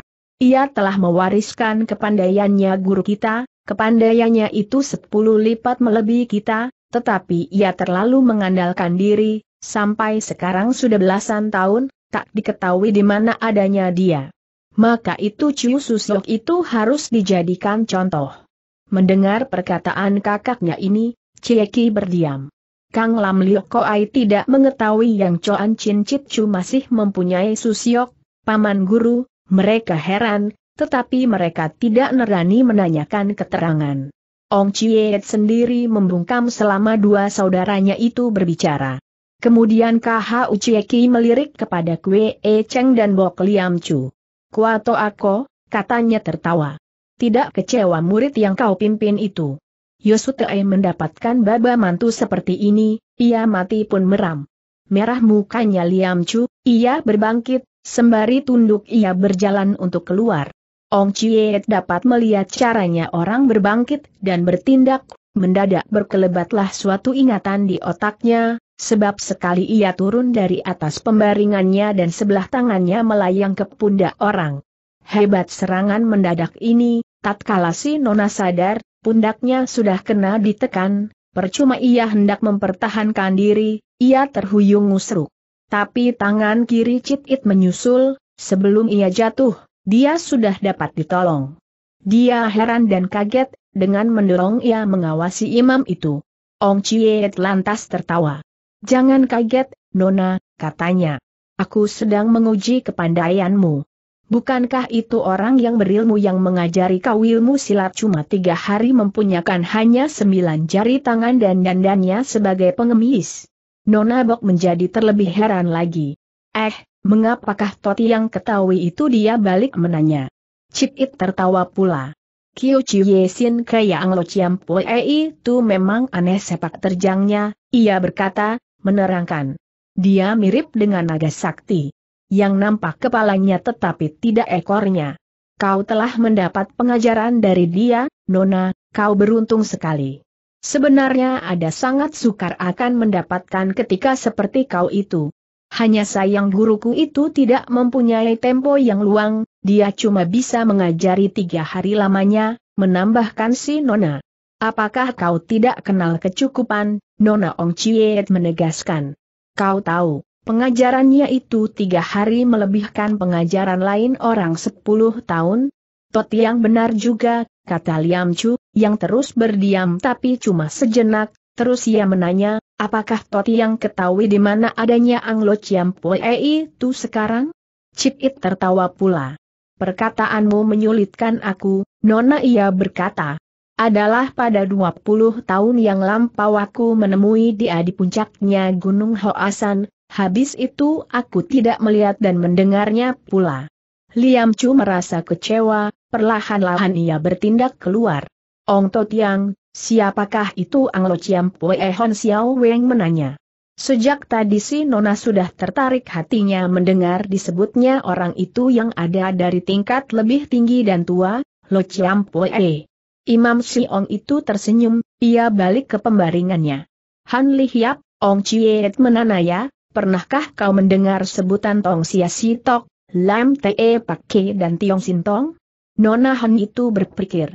Rasanya pernah aku mendengar tetapi aku tidak tahu apa artinya itu semua. Tiba-tiba Kuatin Oke memotong, Anglo Ciampoe itu bukankah pakai dari Lem Te pakai itu? Benar, Ong Chiet memberikan jawabannya. Tiong Sintong itu adalah almarhum Mong Chin Jin yang menjadi guru kami. Kang Lam Liok Koai kagum mendengar si orang siang sama tersohornya dengan gurunya Choan Chin Chit Chu. KH Uchieki menoleh kepada Kue E Seng, sembari tertawa ia berkata, bakal istrimu itu ada muridnya Kiu Chiu Yesin Ke yang ternama besar, di belakang hari siapa yang nanti berani menghinamu.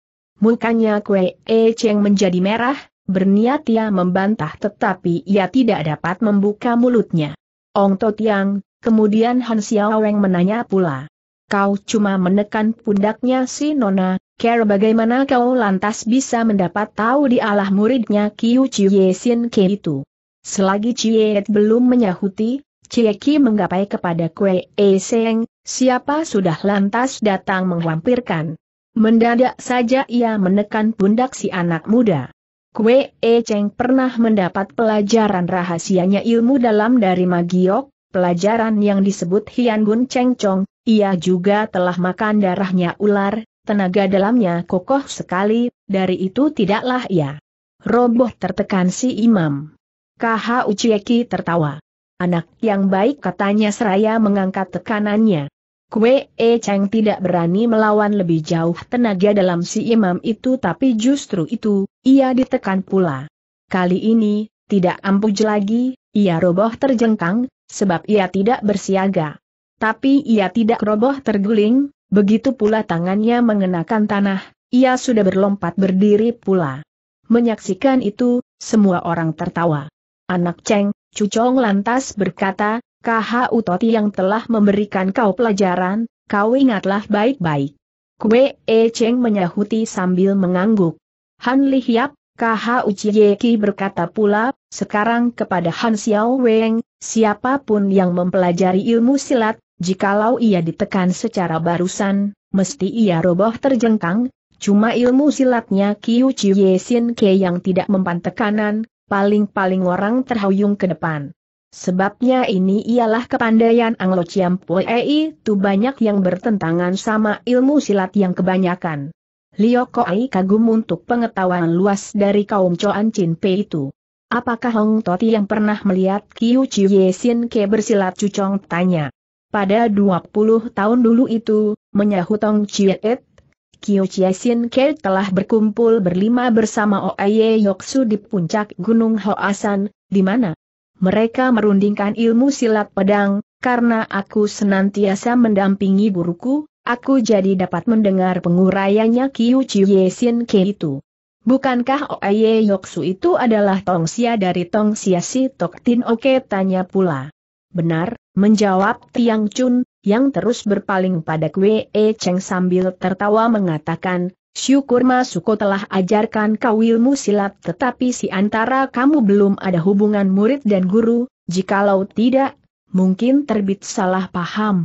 Kau mesti terlebih rendah tingkatannya daripada bakal istrimu itu, dengan begitu seumurmu, tidak nanti kau dapat menanjak naik. Kue E Cheng jengah, mukanya merah. Tidak dapat aku menikah dengannya, katanya. KH Ucieki heran, hingga air mukanya berubah. Kenapakah tanyanya? Han Xiao Weng menyayangi muridnya itu, ia merasa kasihan, ia mewakilkan menyaut.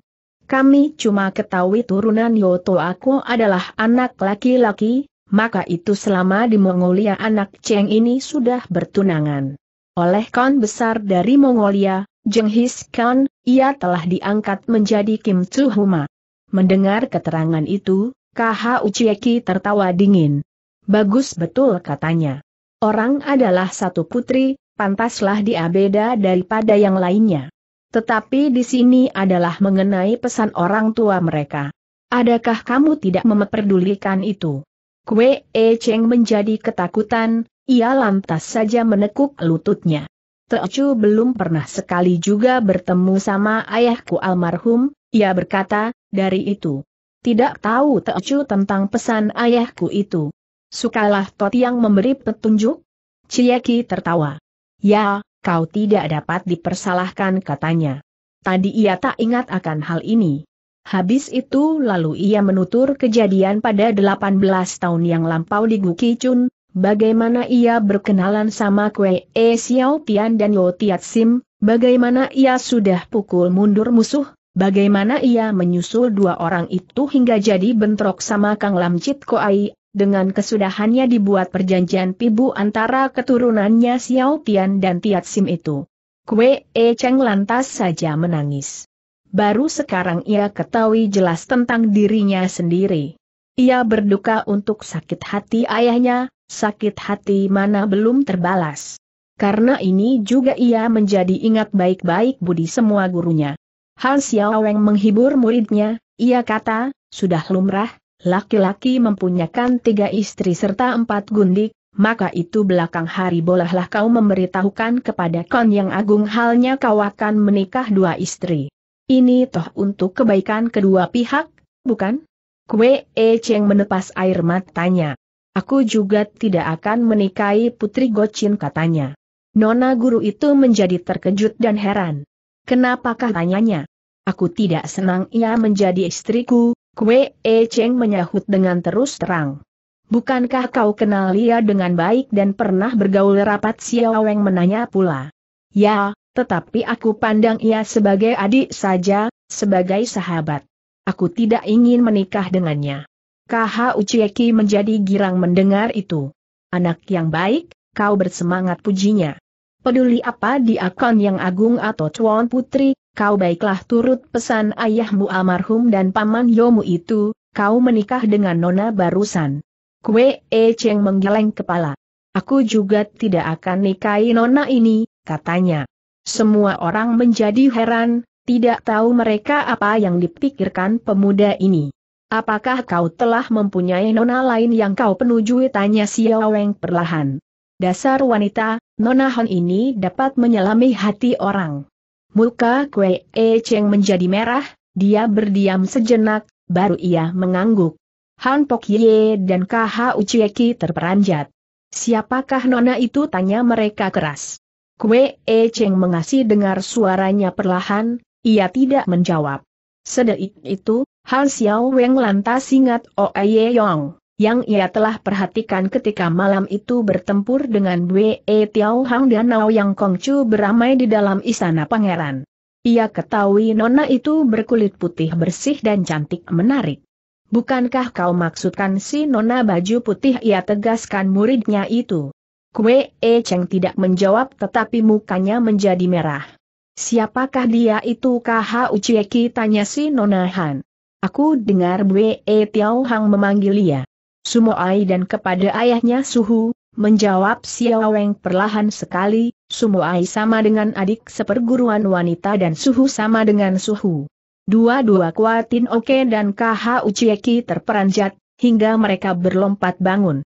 Mustahilkah ia putrinya Oaye Yoksu tanya mereka berbareng. Xiao Weng tarik tangan muridnya, untuk si murid datang dekat kepadanya. Anak Cheng, apakah nona itu si Oye ia menanya perlahan. Kue E Cheng mengangguk. Ya, sahutnya, perlahan juga. Mendapat jawaban itu, Han Xiao Weng tergugup. Apakah ayahnya yang jodohkan kau dengan putrinya tanya Cucong. Aku belum pernah bertemu dengan ayahnya dan tidak tahu siapa itu ayahnya, si murid menjawab. Kalau begitu, kamu jadi mufakat berdua saja Cucong menanya pula. Kue E Cheng tidak mengerti jelas, ia membuka lebar matanya tanpa menjawab. Bukankah dia mengatakan mesti menikah denganmu dan kau membilang akan nikahi dia? Tidak pernah dikatakan begitu, sahut Kue E Seng, yang terus berdiam, tetapi sesaat kemudian ia menambahkan, tidak usahlah itu dijelaskan lagi. Aku tidak dapat tidak mempunyai dia dan dia juga tidak dapat tidak mempunyai aku, hati kita sama mengetahuinya. Han Pok Ye belum pernah mengenal asmara, mendengar itu ia menjadi tidak puas. Habis bagaimana jadinya ia membentak. Cucong lain lagi. Berkata ini guru yang nomor dua, kau tahu tidak, ayahnya Nona itu adalah satu iblis besar, yang kalau membunuh orang tidak pernah mengicap matanya. Jikalau ia ketahui kau secara diam-diam mencuri mengambil hati anak gadisnya, apa kau sangka kau masih mempunyai jiwamu itu? Wei Tiao Hang belum mewariskan satu persepuluh dari kepandaian gurunya itu, dia sudah sangat lihai, maka jikalau tuan dari Pulau Tohoatu itu hendak membunuh kau, siapa yang dapat menolonginya? Yang Jie demikian baik, Aku pikir, aku pikir ayahnya tak mungkin bukan orang baik-baik, berkata si murid perlahan. Angin busuk membentak Pokye, yang tetap murka. Kau mesti bersumpah bahwa untuk selanjutnya kau tidak akan bertemu pula dengan nona itu. Kang Lam Liok Koai sangat membenci Hek Hang Saing Set yang telah membinasakan Xiaomi Tu Tio Aseng si Buddha tertawa, dengan sendirinya mereka jadi membenci juga guru orang itu. Kue E Cheng menjadi susah hati. Di satu pihak adalah guru-gurunya yang telah melepas budi banyak. Kepadanya, di lain pihak adalah cinta sejati.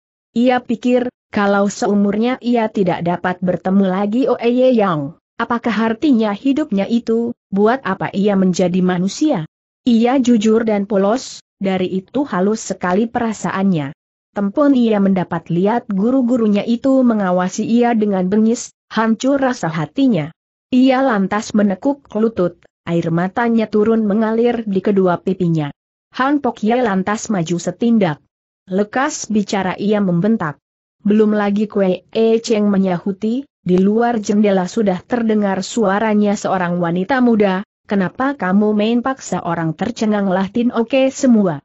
Sedang begitu, Sin Ona itu telah berkata pula, Engko Cheng, lekas keluar. Kue E Cheng kenali suaranya Oye Yong, ia kaget dan berbareng heran. Ia lantas berbangkit dan memburu keluar. Di depannya berdiri Sin Ona cantik, tangan kirinya memegangi pelana kuda Han Hiat Poma. Kuda merah itu meringkik panjang, apabila ia melihat ini anak muda, lalu kedua kaki depannya diangkat, untuk berjingkrakan. Han Pok Ye bersama Cucong dan Choan Kim Hoat memburu keluar, diikuti KH Ucie Ki berempat. Menampak ketiga guru itu, Kue E Cheng menunjuk kepada si Nona Seraya berkata, Sam Suhu, inilah dia si Nona, dia bukannya siluman. Oeye Yong menjadi gusar. Hai, orang keturok mok yang menyebalkan untuk dilihat, kenapa kau berani memaki aku perempuan siluman dia menanya sambil membentak. Dia pun segera menuding Chu. Chong tanpa menanti lagi jawabannya Maong Sin si malaikat raja kuda, untuk menambahkan, ada lagi kau, mahasiswa iblis yang jorok kotor, kenapa kau mencaci ayahku? Kenapa kau katakan ayahku satu iblis besar yang membunuh orang tidak mengicap mata? Biao Chiu Sie Sengsi mahasiswa tangan lihai sabar, ia tidak sudi melayani seorang nona, maka itu ia tersenyum. Ia mesti akui nona ini sangat cantik, seumurnya belum pernah ia lihat lain nona yang melebihkannya, jadi tidaklah heran yang Kue E Cheng menjadi jatuh hati kepada si nona. Tapi beda dengan kakaknya yang kedua ini, Han Pok Ye gusar bukan main, sampai kumisnya bangun berdiri. Pergi kau. Lekas kau pergi ia mengusir. Bukannya si Nona Oeye itu pergi, ia justru menepuk-nepuk tangan, ia bernyanyi, Hai, labu parang. Hai, bola kulit bundar. Ditendang satu kali, lalu bergelindingan. Jangan nakal, yang dia kata kue E Cheng lekas mencegah. Inilah guruku. Han Pok Ye maju, ia mengulurkan tangannya akan menolak si nona itu untuk diangkat pergi. Masih Oye Yong bernyanyi, labu parang. Bola kulit bundar ia pun mundur dari tangannya si Kate Rockmok itu, hanya sambil mundur, mendadak tangannya menyambar pinggang Kue E yang terus ia bawa berlompat, maka sedetik kemudian, keduanya sudah bercokol di atas kuda merah, tempo mana Sin Ona itu mengedut tali les, Han Hiat Poma membuka tindakan lebar dan kabur.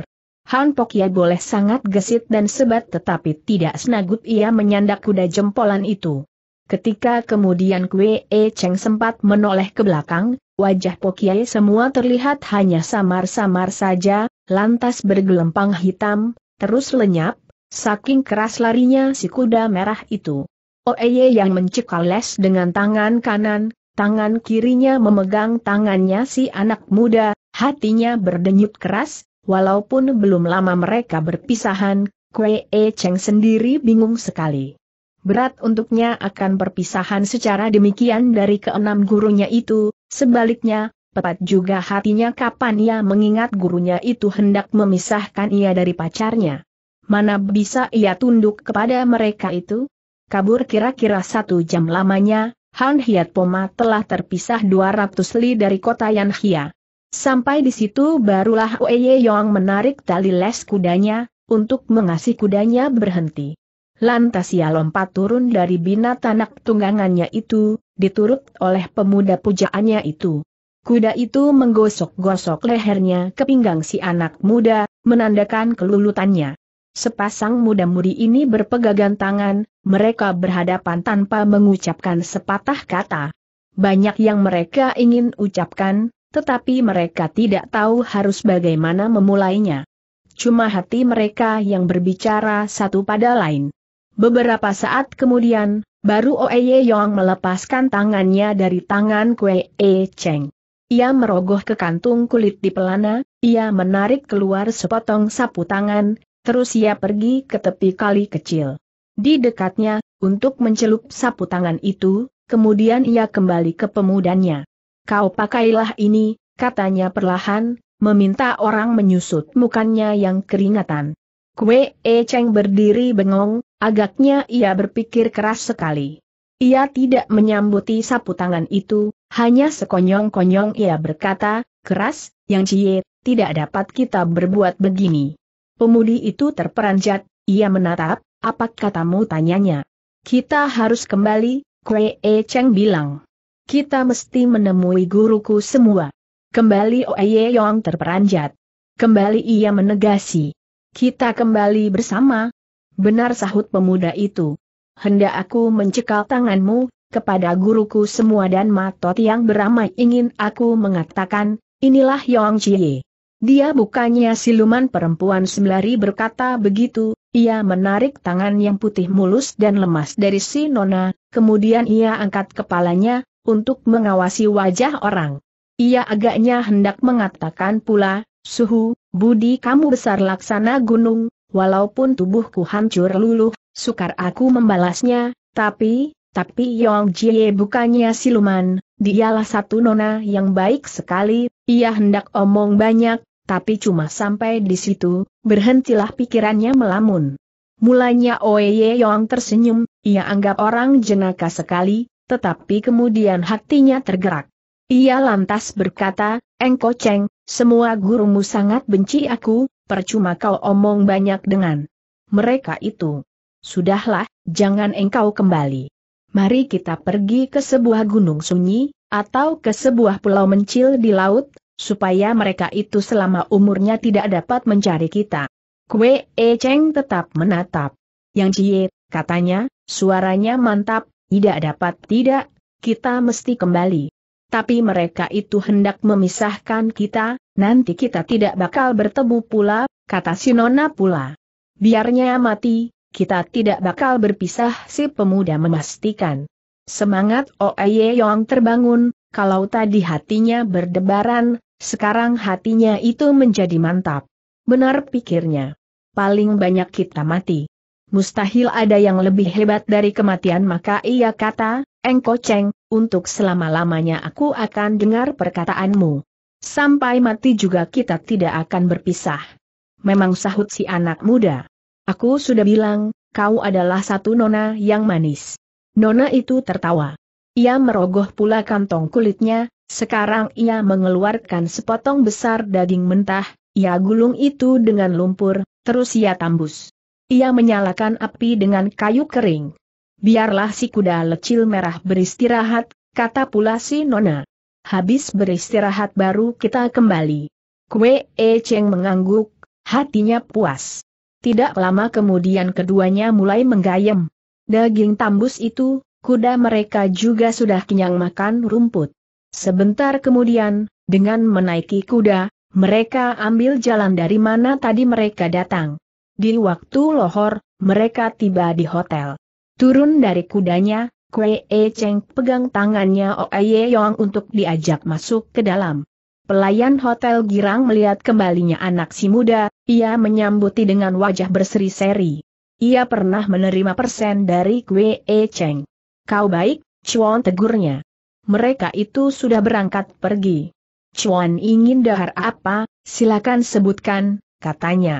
Tapi Kue E Cheng terperanjat. Mereka sudah pergi ia mengulangi. Adakah pesanannya? Tidak. Mereka menuju ke selatan, perginya sudah selang dua jam, jawab si Jongos. Mari kita susul mereka Kue E Cheng mengajak kekasihnya. Oeye yang menurut, maka mereka tinggalkan rumah penginapan itu, mereka kaburkan kuda mereka ke arah yang disebutkan si pelayan itu, yang heran menampak orang pergi secara demikian kesusu. Di sepanjang jalan mereka memasang mata. Sampai sore, mereka tidak dapat menemukan Kang Lan Lioko Ai. Mungkin suhu telah mengambil lain jalan, kata Kue E Cheng. Ia membaliki kudanya. Han Hiat Poma kuat sekali, walaupun penunggangnya dua orang, ia dapat lari tak kurang cepatnya, ia tidak menjadi lelah. Hanya sampai cuaca gelap, mereka tetap tidak melihat Kang Lam Liu Ai atau ketiga orang Choan Chin Pei. Kue E Cheng menjadi masgul. Oeye yang menghibur. Katanya, di harian Tiong Chiu mereka bakal berkeumpul di An Ie Liao Rikihin, di sana kau pasti bakal dapat menemukan mereka. Untuk sampai kepada hari raya Tiong Chiu, temponya masih setengah tahun lagi, kata si anak muda, lesu. Tapi si Nona tertawa manis. Selama setengah tahun kita toh dapat pesiar ke segala tempat kenamaan katanya. Apakah itu tidak terlebih bagus? Mau tidak mau, Kue E Cheng menyatakan setuju. Hatinya menjadi lega juga. Keduanya lantas memasuki dusun, akan mencari penginapan, guna melewatkan sang malam. Besoknya Kue E Cheng membeli seekor kuda putih yang besar, untuk ia, supaya Oye Yong dapat menaiki kuda merah kecil itu seorang diri. Tidak leluasa untuk mereka terus menunggang seekor kuda. Oye Yong tidak dapat menampik kehendak pemudanya itu. Demikian dengan merendengkan kuda, mereka berjalan perlahan-lahan, untuk menikmati keindahan sang malam. Mereka pergi tanpa tujuan sering mereka turun dan duduk saling menyender di tempat yang sepi. Kalau singgah dan bermalam, mereka pun menyewa sebuah kamar. Hati mereka lapang, tidak ada pikiran yang bukan-bukan yang menyandingi mereka. Mereka melainkan memikirkan pesiar dan terbukalah hari mereka. Pada suatu hari tibalah mereka di baratnya perbatasan antara Leong Keng Hau dan Taileng di sebelah timur kota raja. Ketika itu sudah mendekati hari raya Toan Yang, hawa udara mulai panas. Dahi Oye Yong telah berkeringatan. Selagi mereka hendak cari tempat untuk meneduh, si Nona mendengar suara mengericiknya air. Ia lantas larikan kudanya ke arah suara itu. Untuk girangnya ia mendapatkan sebuah kali kecil, sampai ia berseru. Kue E Cheng mengasih kudanya lari menyusul. Kali itu berair bening, hingga nampak dasarnya. Di kedua tepinya ada tumbuh banyak pohon yang liu, yang cabang dan daunnya meroyot ke air. Di dalam air pun terlihat sejumlah ikan berenang pergi datang.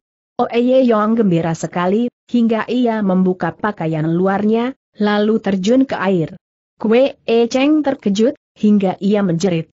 Ia lari ke tepian, hatinya lega. Segera ia melihat si Nona berenang di dalam air, menangkap dua ekor ikan yang panjangnya kira-kira satu kaki, ketika diangkat ke muka air, ekornya kedua ikan itu bergerak-gerak, begitupun kepalanya. Sambut si Nona berseru, kedua tangannya terayun. Kue E Cheng sudah lantas menyambuti, ia bisa memegang kedua ikan itu, tetapi saking licinnya, ikan itu melejit dan lolos, jatuh ke tanah, di mana keduanya berloncatan. Oeye Yong tertawa geli. Engko Cheng, mari turun, kita berenang ia memanggil. Kue E Cheng tidak bisa berenang, ia menjeleng kepala. Ia menjadi besar di gurun pasir. Turunlah, nanti aku ajari kata si Nona. Pemuda ini menjadi tertarik, maka ia pun membuka baju luarnya, lalu turun ke kali. Ia tidak menerjun seperti si Nona, tetapi ia turun dengan perlahan-lahan, tangannya pun diulurkan. Si Nona jail sekali, ia menghampirkan, tahu-tahu ia telah merabuh kaki orang, maka tidak tempo lagi, tubuh Wei Cheng terpelanting. Ia kaget, karenanya, ia menegak air. Oeye Yong lekas pegangi tangan orang, ia menertawai. Begini menggeraki tangan, si Nona benar-benar lantas mengajari. Ia pun membilangi, untuk selulup mesti menahan napas dan matu dapat dirapati atau dimeleki. Untuk Wei E Cheng, pelajaran berenang itu gampang sekali. dengan dapat mengatur napasnya, dengan cepat ia telah dapat mengerti. Demikian ia bisa berenang hilir mudik dan selulup timbul. Tentu sekali, ia menjadi bertambah gembira, sedang kawannya demikian manis dan lincah. Tidak puas dengan mandi di satu tempat saja, mereka berenang mudik, sampai kuping mereka mendapat dengar suara air nyaring. Kemudian ternyata, di selatan itu ada air terjun yang yang tingginya lebih daripada sepuluh tombak, bagaikan rantai perak, air meluncur turun. Engkoceng, kata si Nona sangat bergembira, mari kita mendaki air tumpah itu. Baik, mari kita mencoba kue Eceng menyambut. Kau pakailah baju lapismu. Tidak usah menyahut si Nona. Mari kita mulai.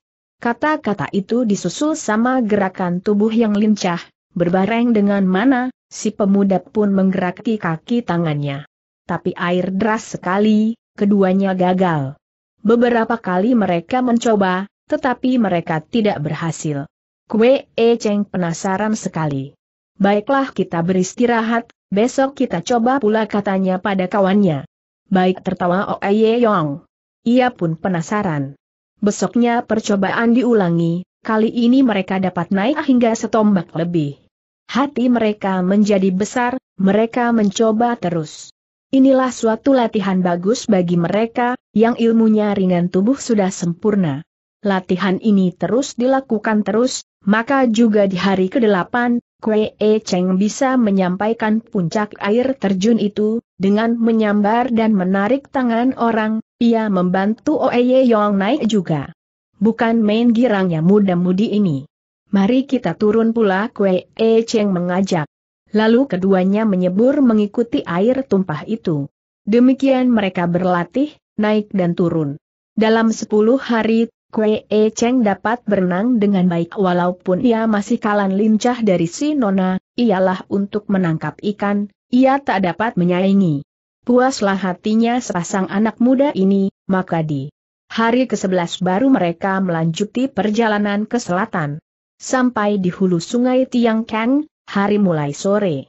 Terbuka hati Kue E Cheng menyaksikan kebesarannya sungai itu, yang airnya terus mengalir, gelombangnya saling susun. Kau mau berenang, Engko Cheng tanya si Nona. Marilah. Baik sahut si Anka muda. Dan ia lompat turun dari kuda putihnya, yang tepuk kempolannya. Kau tidak punya guna, pergilah ia pun melepaskan tali les. Di lain pihak, ia menghampirkan kuda merah. Kapam kuda merah itu telah ditepuk, dengan berani dia terjun ke sungai, sembari terjun ia meringkik keras dan panjang, terus ia bernak pergi. Kue E Cheng dan Oye Yong pun segera terjun, untuk menyusul. Pandai berenangnya kuda merah itu, dia mendahului di muka. Di tempat di mana mereka terjun ini tidak ada lain orang, dengan begitu mereka tidak menarik perhatian siapa juga. Belum begitu lama, tiba-tiba cuaca menjadi gelap. Sebab Mega sudah lantas bergumpal-gumpal, langit menjadi mendung. Lalu kemudian terdengarlah suara guntur saling susul dan terlihat kilat menyambar-nyambar. Takutkah kau, yang Jack W. E. Cheng tanya. Ada bersama-sama kau, aku tidak takut. Menjawab si Nona tertawa. Pemuda itu tersenyum. Di bawah hujan besar, mereka berenang terus hingga di lain tepi di mana mereka mendarat. Mereka menanti sampai air langit itu berhenti turun, ketika itu tibalah sang malam dan rembulan memancarkan sinarnya di langit yang bersih. Mendung sirna, mega berkumpul lenyap. Kue E Cheng mencari kayu kering, untuk menyalakan api unggun, di situ mereka memanggang pakaian mereka hingga kering, kemudian keduanya rebah tidur di udara terbuka. Mereka polos, mereka tidak ingat suatu apa. Keduanya sadar besoknya fajar, tempo mereka dengar suara ayam berkeruyuk dari sebuah rumah tak jauh dari tepi sungai. Aku lapar berkata Oye Yong, yang menguap.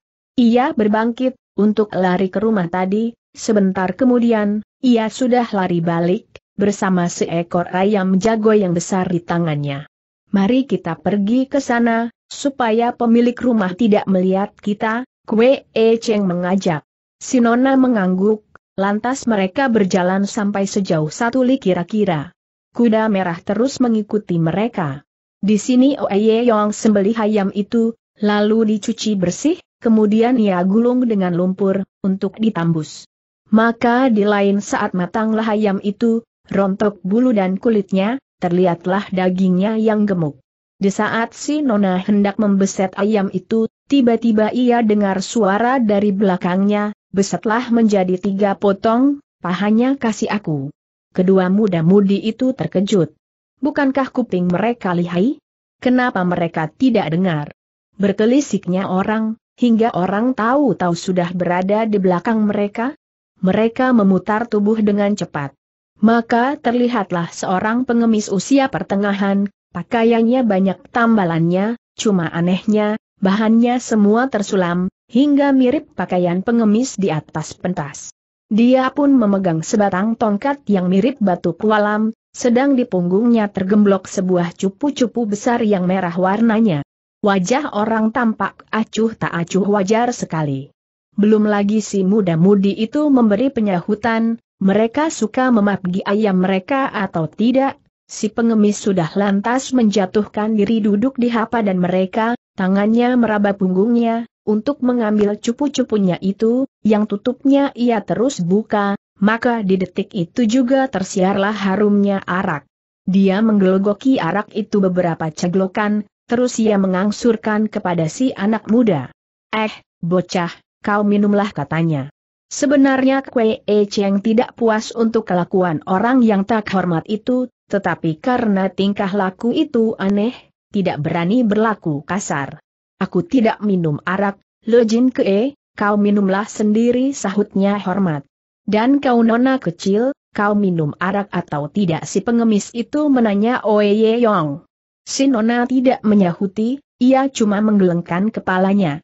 Tapi sangat jeli matanya, dalam sesaat ia telah dapat melihat jeriji tangan si pengemis yang memegang tempat araknya. Untuk terkejutnya, jeriji itu cuma sembilan, lenyap satu dari lima jeriji tangan kanan. Ia lantas ingat kata-katanya Ong Chiet dan KH Uchieki perihal Kiu Chie Sin Kei, si pengemis aneh. Berjeriji sembilan. Benarkah di kolong langit ini ada peristiwa begini kebetulan ia tanya diri sendiri. Baiklah aku dengar suaranya. Nona ini tertawa di dalam hati apabila ia sudah mengawasi wajah si pengemis yang terus memandangi ayamnya, hidung dia itu bergerak-gerak, mulutnya berkelemikan tanda mengilarnya. Tetapi ia tidak memikir untuk menjaili orang, maka ia lantas besar ayamnya dibagi dua, yang separuh ia sodorkan pada orang tua itu. Pengemis itu menyambuti seperti menyambar, Terus ia masuki ayam itu ke mulutnya, dan terus menggayam. Sangat bernafsu ia mendaharnya hingga lekas juga paha ayam itu termakan habis. Tulang-tulang ayam itu ia semurkan. Sungguh lezat. Sungguh lezat ya memuji. Berulang-ulang. Biarnya aku si leluhur pengemis, tidak bisa aku mematangi ayam selezat ini. Oeye Yong tertawa, ia menyodorkan pula sepotong lainnya. Ah, Mana dapat pengemis itu menolak. Kamu berdua belum makan, mulutnya mengatakan begitu, tetapi tangannya menyambuti, maka di lain saat, habis sudah sebelah ayam tambus itu. Lantas ia menepuk-nepuk perutnya. Hai, perutku, perutku ia mengoceh seorang diri, bukankah jarang sekali kau gegares ayam begini lezat? Mau tidak mau, Sinona tertawa geli. Pengemis itu merogoh ke sakunya, mengeluarkan sepotong besar perak, yang mana ia sodorkan kepada Kue E Cheng. Bocah, kau ambillah ini katanya. Pemuda itu menggeleng kepalanya. Kami menganggap kau sebagai sahabat, kami tidak menginginkan uang, jawabnya. Pengemus itu menyeringai, agaknya ia likat. Inlah sulit, katanya. Meskipun aku pengemis, tidak biasa aku menerima budi orang sedikit juga. Apakah artinya seekor ayam berkata Kue E Cheng tertawa. Laginya, ayam ini pun kami dapatkan dengan jalan tangan panjang, tanpa perkenan dari pemiliknya. Pengemis itu tertawa terbahak-bahak. Ah, anak muda, tabiatmu sama dengan tabiatku katanya. Mari, mari bilangi aku, kau ada niat apa, kau kasih aku dengar. Belum lagi si pemuda menyahuti, Oh Aye yang sudah dului padanya. Aku masih punya beberapa macam sayuran untuk kau cobai, Lejin Kae, katanya manis. Maukah kau turut kami pergi ke pasar di sana? Pengemis itu nampaknya sangat girang. Bagus, bagus ya menyahuti. Lejin Kae siapa Kue E Cheng menanya. Aku Siang, anak yang ketujuh, menjawab. Pengemis itu. Maka kamu berdua, anak-anak, kau panggil saja aku Ang Chit Kong. Ha, benar saja dia kata Oye Yong di dalam hatinya. Tapi dia masih begini muda, care bagaimana dia sama kesohornya dengan Choan Chin Chit Chu. Tanda petik. Walaupun dia memikir demikian, Oye Yong tidak bilang suatu apa. Bertiga mereka sudah lantas berjalan menuju ke selatan, di mana ada sebuah dusun namanya Kiang Biotin. Lantas saja mereka mencari pondokan. Kamu berdua menanti sebentar, aku hendak membeli bumbu, kata Oye Yong, yang terus pergi meninggalkan mereka. Ang Chit Kong mengawasi belakang si Nona, lalu ia tertawa. Ia kata kepada Kue E Seng, adakah dia itu istrimu? Merah mukanya Kue E Seng, sulit untuk ia mengiyakan atau menyangkal. Ang Chit Kong tidak menanya pula, dia tertawa, lalu ia duduk nyender di kursinya, matanya meram melek. Tidak lama Oye Yong kembali dengan sayuran dan bumbunya, ia pergi ke dapur untuk matangi itu. Kue E Cheng hendak membantui, sembari tertawa, pemuda ini ditolaknya. Selang setengah jam, Ang Chit Kong menguap. Segera ia mengendus-endus. Ah, harum sekali katanya. Masakan apakah itu? Ah ia melongo ke arah dapur, lehernya diulur panjang-panjang. Melihat tingkah lauk orang, Kue E Cheng tertawa di dalam hati. Bau wanginya barang hidangan mendesak, tetapi Oye Yong belum juga muncul. Si pengemis jadi serba salah, ia bangun, ia duduk, bangun pula, duduk kembali. Kau tahu tabiatku katanya pada Kue E Seng, yang ia awasi. Mulutku aneh, asal aku merasai. Makanan lezat, lantas aku lupa segala apa kali ini ia tidak likat-likat lagi. Ia perlihatkan tangan kanannya, ia menambahkan, orang dahulu membilang, jari telunjuk dapat bergerak, inilah benar.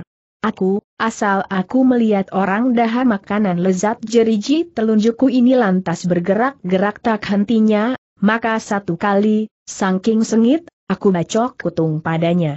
Oh kue e Cheng berseru. Tapi si pengemis tertawa. Katanya pula, meski jari tanganku lenyap, tabiatku tetap ada tak berubah.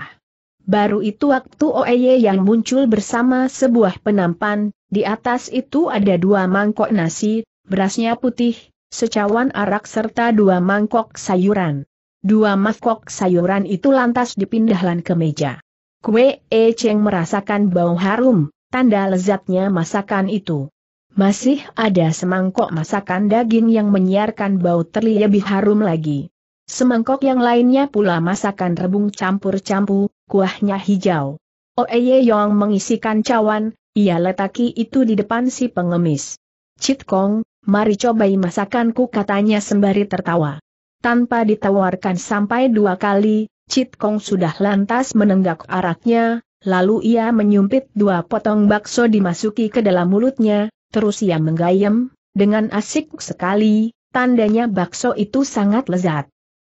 Aku tahu katanya kemudian.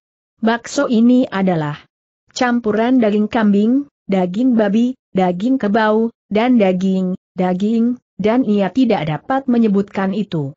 Kalau kau bisa membade, betul kau lihai, Cit Kongo Eye Yong tertawa. Tapi belum ia berhenti tertawa, si pengemis itu sudah berseru, itulah daging mencak dicampur daging kelinci. Sin Ona bertepuk tangan. Bagus. Bagus pujinya. Kau sungguh lihai. Kue E Cheng sebaliknya mendoleng. Hebat yang Jie pikirnya. Bagaimana dapat ia memasak semua ini? Angcit Konggirang bukan main, ia menjepit pula dua buah entoh yang dimasak bersama sayur kuah hijau itu. Aku tahu, inilah sup daun teratai campur rebung campur entoh katanya. Ia masuki entoh itu ke dalam mulutnya dan mengunyah. Mendadak ia mengasih dengar suara ah berulang-ulang. Kue E Cheng heran. Ia menduga, engtoh itu tentu lezat sekali. Ah, nona kecil, aku takluk padamu kata Ang Chit Kong kemudian, sesudah menguyah. Pada sepuluh tahun yang lampau, pernah aku makan makanan ini di dapurnya Kaisar akan tetapi rasanya tidak selezat ini. Oeye Yong tertawa. Chit Kong, katanya, coba bilangi, di dapur Kaisar ada makanan apa lainnya yang lezat, ingin aku mempelajarinya, supaya aku bisa memasaki untukmu. Tapi tak sempat si pengemis berbicara, ia repot dengan baksonya, dengan sayurnya, maka di lain saat. Maka semua makanan itu tinggal dua per sepuluh bagian. Baru kemudian ia berkata, di dapur kaisar tidak ada barang makanan yang dapat melebihkan masakanmu ini. Kue E Cheng heran, eh, Chit Kong, apakah kaisar telah mengundang kau berjamu tanya ia. Chit Kong tertawa tergelak-gelak. Betul, kaisar telah mengundang aku jawabnya. Cuma kaisar sendiri tidak dapat mengetahuinya. Selama tiga bulan aku sembunyi di atas pengelari dapur kaisar, semua barang hidangannya kaisar telah aku cobai satu demi satu, mana yang lezat, aku hajar habis, mana yang tidak lezat, aku biarkan si kaisar yang gegaras. Koki dan lainnya semua heran, mereka sampai mengatakan di dapurnya itu muncul dewa si rasa besar. Dua-duanya Kwe E Cheng dan Oye Yong bersenyum, di dalam hati mereka berkata, ini orang sangat doyan makan, mulutnya besar, tapi nyalinya pun gede. Eh, bocah tertawa pula si pengemis. Kepandaian masak istrimu ini inilah nomor satu di kolong langit ini. Seumurmu, kau sangat berbahagia. Sungguh heran, kenapa semasa aku muda, aku tidak pernah bertemu nona semacam dia? Kue E Cheng tertawa, begitupun Oye Yong keduanya lantas berdahar, Si nona perutnya kecil, sudah cukup ia makan satu mangkok. Kue E Cheng sebaliknya menghabisi sampai empat mangkok, sayurannya ia tidak perhatikan. Sayurannya telah dikompasi pengemis. Habis meludaskan semangkok sayur, Ang Chit Kong mengusap-usap perutnya. Eh, anak-anak, aku tahu kau mengerti ilmu silat, katanya tiba-tiba. Dan kau, bocah perempuan, kau masaki aku barang hidangan lezat, aku taju, kau tidak mengandung maksud baik. Kau tentunya menghendaki aku mengajarkan kau beberapa jurus. Baiklah, tidak apa. Aku telah merasai hidangan lezat, tidak enak jikalau aku tidak mengajari kau. Mari, ikut aku. Ia berbangkit, ia gendol cupu-cupunya, ia cekal tongkatnya, lantas ia berjalan keluar. Tanpa membilang apa-apa, sepasang muda-mudi itu mengikuti, sampai di sebuah rimba. Kau ingin mempelajari apa Cip Kong tanya Kue E Cheng. Pemuda itu berpikir, banyak sekali macamnya ilmu silat di kolong langit ini. Kalau aku menginginkan sesuatu, benarkah kau sanggup mengajarinya selagi si pemuda berpikir, oh Oeye yang mendahului. Cit Kong, kepandaian dia ini tidak melebihkan aku, katanya. Dia sering marah-marah, ingin sekali dia menandingi aku. Eh, kapan aku pernah marah terhadapmu tanya Kue E Cheng. Oye Yong mengedipi mata pada pemudanya itu. Kue E Cheng lantas menutup mulutnya. Chit Kong tertawa, ia berkata, aku lihat gerak kaki tanganmu, kau mesti mempunyai latihan dari beberapa puluh tahun, maka kenapa kau tidak sanggup melawan dia? Sekarang hayo kamu berdua bertempur, aku mau lihat. Oeye Yong jalan beberapa tindak. Engko Cheng. Mari ia memanggil. Pemuda itu bersangsi. Jikalau kau tidak pertontonkan kepandaianmu, mana bisa Lojin ke E mengajarimu si Nona berkata. Marilah. Kue E Cheng pikir si Nona itu benar juga, maka lantas ia kata pada si pengemis, apa yang pernah aku pelajarkan tidak sempurna, aku minta sukalah Lojan ke M memberi petunjuk. Cit Kong tersenyum. Mengajari sedikit tidak apa, mengajar banyak, itulah lain katanya. Mendengar itu, Kue E Cheng melengak. Ia heran. Justru itu Oeye Yong berteriak. Awas raya tangannya menyambar. Ia terkejut, lekas-lekas ia menangkis. Tetapi si Nona lihai sekali, ia menarik tangannya, kakinya menggantikan merabuh ke bawah. Bagus Nona cilik berseru Ang Chit Kong. Kau lihai.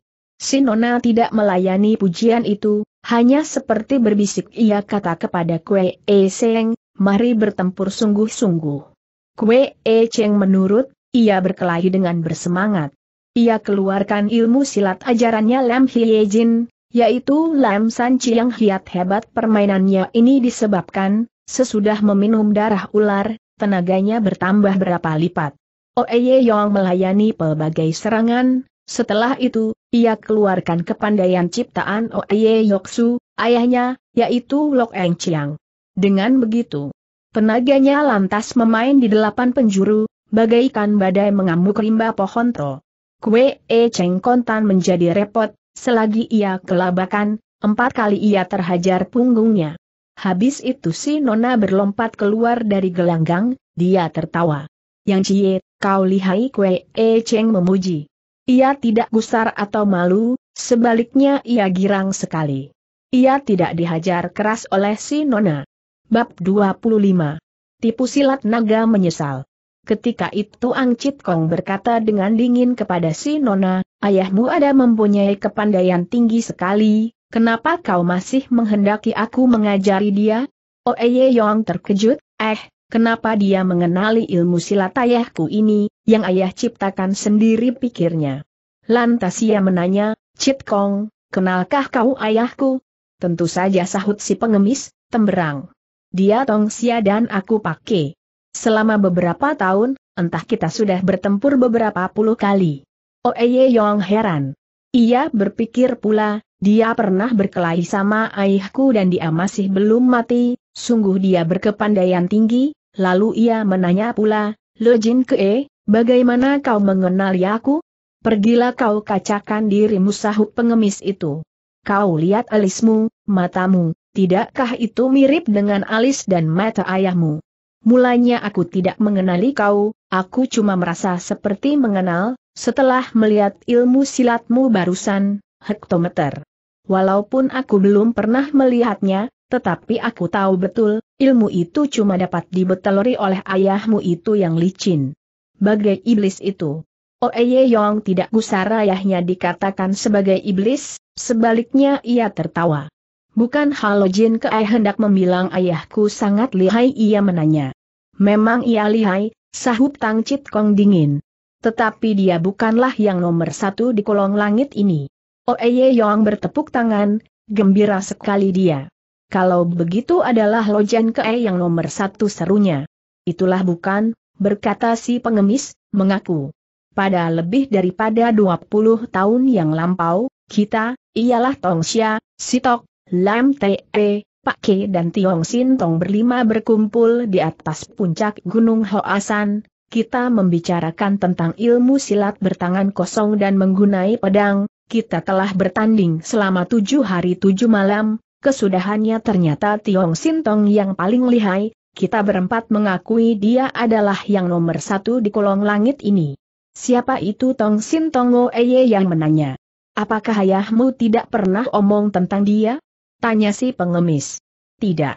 Bahkan ayah mendamprat aku, dia tidak menyukai aku, dari itu aku minggat. Untuk selanjutnya ayah tidak menghendaki aku lagi, kata si gadis dengan sedih. Ha, siluman tua itu Ang Chit Kong memaki. Benar-benar dia sesat. Oeye Yong memperlihatkan Roman tidak senang. Aku melarang kau memaki ayahku ia berkata. Ang Chit Kong tertawa terkakak.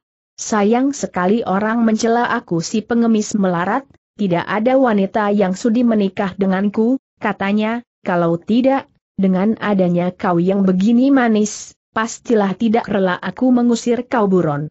Oeye Yong Pung tertawa. Itulah pasti, Le Jin Ke. Dengan kau mengusir aku, siapa nanti yang masaki kau sayur? Pengemis itu menghela napas. Kau benar, kau benar, ujarnya. Ia berhenti sejenak, lalu ia meneruskan, Tiong Sintong itu ada kau cu, ialah kepala dari Choan Chin kau, namanya Ong Tiong Jiang. Setelah ia menutup mata, sekarang sukar dibilang, siapakah di kolong langit ini menggantikan dia sebagai yang nomor satu. Choan Chin kau, Le Jin Ke bilang, ah, Bukankah di sana masih ada si Imam Shikahau dan si Ong? Bukankah mereka itu lihai ilmu silatnya? Tanya Oye Yong lagi. Mereka itu ialah murid-muridnya Ong Tiong Jiang. Aku dengar dari tujuh muridnya, KH Uchieki adalah yang paling lihai, tetapi walaupun demikian dia tidak dapat menandingi paman gurunya, Ciu Pek Tong, jawab Cit Kong. Mendengar disebutkannya nama Ciu Pek Tong itu, Oye Yong terperanjat, hendak ia bicara tapi mendadak ia mengurungkannya. Sejak tadi Kwe Cheng hanya memasang kuping saja, sekarang ia menyelak. Oh, kiranya Mato Tiang. Masih mempunyai paman guru, katanya. Ciu Pek Tong itu bukannya imam dari Choan Chin Kau, Cit Kong memberi keterangan. Dialah seorang biasa, yang tidak memegang agama. Ilmu silatnya itu diajarkan sendiri oleh Hong Tiong Jiang. Ah, bukankah ayahmu tidak menyukai ini bocah tolol yang menjadi kawanmu? Pengemis ini mengatakan Kue E Seng, inilah yang tidak disangka-sangka si anak muda. Ia menjadi bungkam. Oeye Yong tidak menjadi gusar, ia malah tertawa. Ayahku belum pernah melihat dia, ia menyahuti. Jikalau Lojin ke Esudi memberi pelajaran padanya, dengan memandang kau, pastilah ayahku nanti menyukai dia. Hai, iblis cilik seru si pengemis. Kepandaian ayahmu belum kau dapatkan satu bagian saja, tetapi metu iblisnya kau telah wariskan semuanya. Aku tidak senang diumpak-umpak orang dipakaikan kopiah tinggi, aku si pengemis tua juga tidak pernah menerima murid, maka siapakah kesudian bocah tolol ini sebagai murid? Hanyalah kau sendiri yang memandangnya dia sebagai mustika. Sehabis berkata begitu, Ang Chit Kong berbangkit, dengan membawa tongkatnya, dia ngeloyor pergi. Kue E Cheng heran, dia berdiri menjublak mengawasi kepergian orang tua itu. Yang Cie, katanya selang sesaat, tabiatnya Lo Chiam Pue ini sungguh luar biasa. Sebenarnya ialah seorang yang baik hatinya menyahuti Oeye Yang, yang kupingnya sangat terang, hingga ia dapat mendengar satu suara sangat perlahan di atas pohon di samping mereka, hingga ia menduga kepada si pengemisan yang itu. Dia juga terlebih lihai daripada ayahku. Kue E Cheng memperlihatkan roman aneh. Kau belum pernah menyaksikan kepandaiannya, mengapa kau bisa bilang begitu? Aku dengar itu dari ayahku, jawab Oye Yong. Apakah kata ayahmu tanya si pemuda lebih? Lanjut. Ayahku bilang, sekarang ini, orang yang kepandaiannya lihai yang dapat memenangkan ayah cuma tinggal Angcit Kong seorang. Sayang orang tua itu tidak ketentuan tempat kediamannya, tidak dapat kita sering berkumpul dengannya untuk menyakinkan ilmu, sahut si Nona. Dugaan si Nona tepat, Angcit Kong tidak berlalu terus. Setelah tak nampak oleh Kwe E Cheng dan si Nona, lekas-lekas ia kembali. Ia jalan mutar, Terus ia lompat naik ke atas pohon, dari itu ia bisa mendengar pembicaraannya muda-mudi itu. Ia pun puas mendengar suaranya Oye Yoksu seperti dikatakan si Nona. Pada wajahnya Oye Yoksu tidak pernah mengagumi aku, siapa tahu di dalam hatinya dia memandang hormat, pikirnya. Dan ia puas sekali. Ia tidak tahu Oye Yong melainkan mengarang cerita. Sayang belum berarti aku menuntut pelajaran dari ayahku, Oeye yang berkata pula, ia bersandiwara terus. Mengenai itu aku harus menyesalkan diri sendiri. Kenapa dulu aku gemar main-main saja, tidak mau aku belajar dengan rajin. Sekarang kebetulan. Sekali kita bertemu dengan Ang Chit Kong, asal dia suka memberikan satu dua pelajaran, Bukankah itu terlebih baik daripada pengajaran ayahku sendiri? Menyesal aku telah keterlepasan omong, aku menyebabkan Lo Chiam Poe itu tidak senang hati, habis berkata begitu, ia lantas menangis. Kue E Cheng menghiburi kekasihnya itu, tetapi justru itu, dari berpura-pura, Oye Yong menjadi menangis sungguhan. Ang Chit Kong di atas pohon melihat dan mendengar semua itu, hatinya tertarik. Oeye Yong menangis tersedu-sedu. Pernah aku dengar ayah bilang, katanya kemudian, Kyo Chiesin Kayada mempunyai semacam ilmu silat yang di kolong langit ini tidak ada saingannya, yang sejak zaman dahulu senantiasa menjagoi sendiri, sampai pun Ong Tiong yang jeri juga terhadapnya. Ilmu silat itu dinamakan, dinamakan, ah, aku lupa, sedang barusan aku ingat. Sebenarnya, ingin aku minta diajari ilmu silat itu, namanya, namanya, ah, aku lupa lagi. Ang Chit Kong masih tidak sadar bahwa orang tengah mengepul terus, ia tidak dapat mengendalikan diri dari atas pohon, hingga ia langsung berseru, itulah Heng Liong Sip Pet Chiang dan ia pun lompat turun dari pohon tempat bersembunyinya itu. Oeye Yong berpura-pura terkejut, tapi habisnya ia girang bukan kepalang. Benar, benar, ah, kenapa aku tidak ingat itu dia berseru. Ayah sering sekali menyebut ilmu silat itu, dia kata itulah ilmu yang ia paling malui. Kiranya ayahmu itu masih suka omong terus terang Ang Chit Kong berkata. Aku tadinya menyangka, semenjak meninggalnya Ong Tiong, yang dia menganggap dirinya sebagai si orang kosen nomor satu di dalam dunia ini dia memandang Kue E Cheng, terus ia berkata, eh, bocah, bakatmu kalah dengan bocah perempuan ini, itulah sebabnya kenapa kau tidak dapat menandingi padanya. Eh, Nona cilik, pergilah kau pulang ke pondokmu. Oeye Yong tahu si pengemis hendak memberi pelajaran pada Kue E Seng, ia girang bukan main, dengan lantas ia lari pulang. Lantas Ang Chit Kong memandang tajam pada si anak muda. Lekas kau berlutut dan mengangkat sumpah katanya, bengis. Tanpa perkenan dari aku, aku larang kau mewariskan kepandaian yang aku ajarkan ini kepada lain orang, termasuk juga itu istrimu yang licin bagai iblis cilik. Kue E Cheng menjadi bingung. Kalau Yang Jie memintanya, mana dapat aku menolak ia berpikir. Karena ini, ia berkata, Chit Kong, aku tak ingin belajar. Biarlah dia tetap jauh terlebih gagah daripada aku. Chit Kong heran. Eh, kenapa begitu dia menegaskan? Sebab kalau dia minta aku mengejarinya, sahut Kue E Seng, apabila aku tidak suka mengajarinya, aku jadi berlaku tidak pantas terhadapnya. Sebaliknya jikalau aku meluluskan permintaannya dan mengajarinya, aku malu terhadap kau, aku jadi melanggar sumpahku. Mendengar keterangan ini, Ang Chit Kong tertawa lebar. Anak tolol, matamu tajam, hatimu baik. Katanya, kau jujur sekali. Sekarang begini saja, aku ajarkan kau jurus Kang Leong Yeo Ehowi.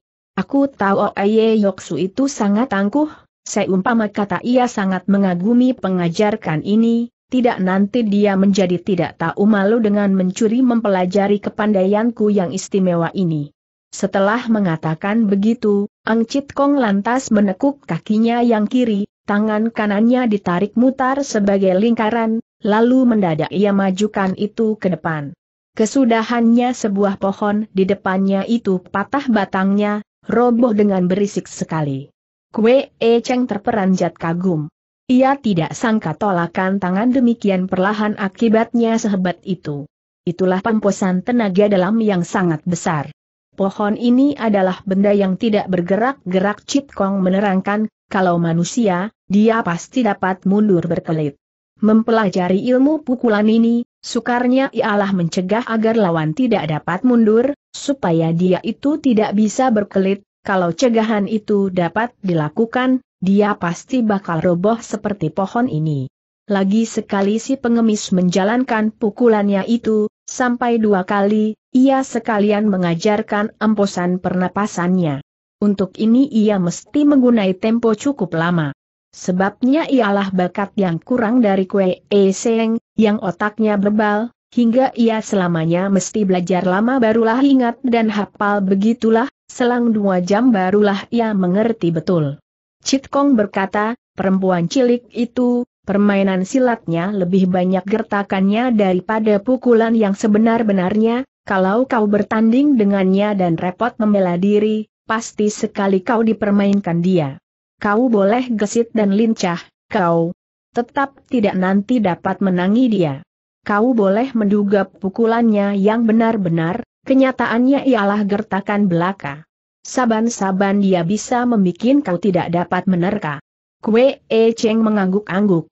Karenanya jikalau kau ingin memecahkan ilmu silatnya itu, Chit Kong memberi rahasia terlebih jauh, Jangan kau usil pukulannya itu gertakan atau benar-benar, kau tunggu pukulannya tiba, palsu atau benar, kau sambut dengan Kang Leong Yeo Ehowi. Apabila dia melihat seranganmu itu, mesti ia menangkis, asal dia menangkis, kalahlah dia. Kemudian bagaimana Kue E Cheng tanya. Kemudian bagaimana si pengemis mengulangi. Ha, anak tolol. Dia ada punya berapa banyak kepandaian hingga ia sanggup melawan ini pukulan yang aku ajarkan kau. Si pemuda tak berani mananya lagi, ia terus berlatih. Ia pilih sebuah pohon yang kecil, ia hajar itu. Ia kena menghajar dengan tepat, tetapi pohon itu tidak roboh, melainkan bergoyang-goyang. Anak tolol mendamprat si pengemis. Mau apa kau menggoyang-goyang pohon itu? Kau hendak menangkap bajing atau mau memetik buah cemara? Mukanya Kue E Cheng menjadi merah, ia tertawa menyeringai. Sudah aku bilang, kau mesti bikin lawan tidak dapat mundur, tidak bisa berkelitang Cit Kong berkata pula. Pukulan barusan tepat tetapi kurang bertenaga, dengan pohon bergoyang, tenagamu menjadi buyar. Mestinya pohon dihajar tanpa ia bergoyang, baru ia dapat dibikin patah. Kali ini Kwe E Cheng sadar. Jadinya aku mesti sebat sekali supaya lawan tak keburu bersiaga, katanya. Memang. Apa mesti disebutkan pula semrot si pengemis. Anak muda ini berdiam, ia berlatih pula. Untuk beberapa puluh kali ia memukul, pohon masih bergoyang-goyang. Ia tidak menjadi bosan, ia tidak berputus asa, terus ia mencoba barulah hatinya menjadi terbuka ketika kemudian bergoyangnya pohon perlahan sekali. Itu tandanya ia peroleh kemajuan. Sementara itu tangannya telah jadi bengkak dan merah, tetapi ia tidak pedulikan, masih ia berlatih terus. Angcit Kong tidak sabaran, ia duduk menyender, lalu pulas, menggeros keras. Ulet si anak muda, segera juga ia bisa bikin pohon tidak bergoyang. Ia jadi semakin bersemangat. Kembali ia memukul. Di akhirnya, robohlah pohon itu, terpatah dua. Hampir ia bersorak. Bagus begitu terdengar suaranya Oye Yong, yang terlihat mendatangi dengan perlahan-lahan, tangannya membawa kotak makanan. Chit Kong belum membuka matanya, hidungnya sudah mencium bau wangi makanan. Harum. Harum katanya seraya ia berlompat bangun, segera ia membuka tutup kotak hingga ia lihat ayam panggang dan bebek serta setumpuk lumpia tanpa diundang lagi, ia menyambar dengan tangan kiri dan kanan, memasuki ayam dan bebek itu bergantian ke mulutnya untuk digeragoti. Lezat. Lezat ia. Memuji, tapi karena mulutnya penuh, tak nyata pujiannya itu. Ketika sebentar kemudian ayam dan bebek itu habis, tinggal tulang-tulangnya saja, baru ia ingat Kue E Cheng belum dahar. Agaknya ia jengah sendirinya. Tapi lekas ia berkata, mari, mari. Lumpia ini pun lezat. Lebih lezat dari bebek. Dua-dua Kue E Cheng dan Oye Yong tidak menjadi tidak senang, malah si Nona tertawa. Cit Kong, kau belum dahar masakanku yang paling jempol katanya si Nona. Si pengemis menjadi mengilar. Masakan apa itu? Masakan apa itu ia menanya, mendesak. Tidak dapat aku sebutkan semua itu sekarang, menjawab si Nona. Ada pecai goreng, ada tahu tim, ada juga sup daging. Cit Kong menjadi semakin ngilar. Bagus, bagus katanya. Sudah aku bilang, kau memang anak manis. Apa boleh aku pergi membelikan pecai dan tahu sekarang? Tak usah, Cit Kong. Kau yang beli pun tidak cocok sama pilihanku. Ya, benar-benar, mana orang lain dapat memilih seperti kau sendiri. Nona Oeye itu lantas memutar haluan. Barusan aku lihat dia menghajar pohon patah dan roboh, sekarang ia lebih lihai daripadaku katanya mengenai kue E Cheng. Si pengemis itu menggeleng-geleng kepalanya. Tidak, tidak katanya cepat. Pukulan apa itu, pohon bergoyang-goyang dan melengkung?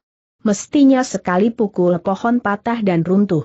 Toh pukulannya barusan sudah hebat, aku tentu tidak sanggup menahannya, kata pula si Nona. Dasar kau yang berat sebelah. Kalau nanti ia menghina aku, bagaimana?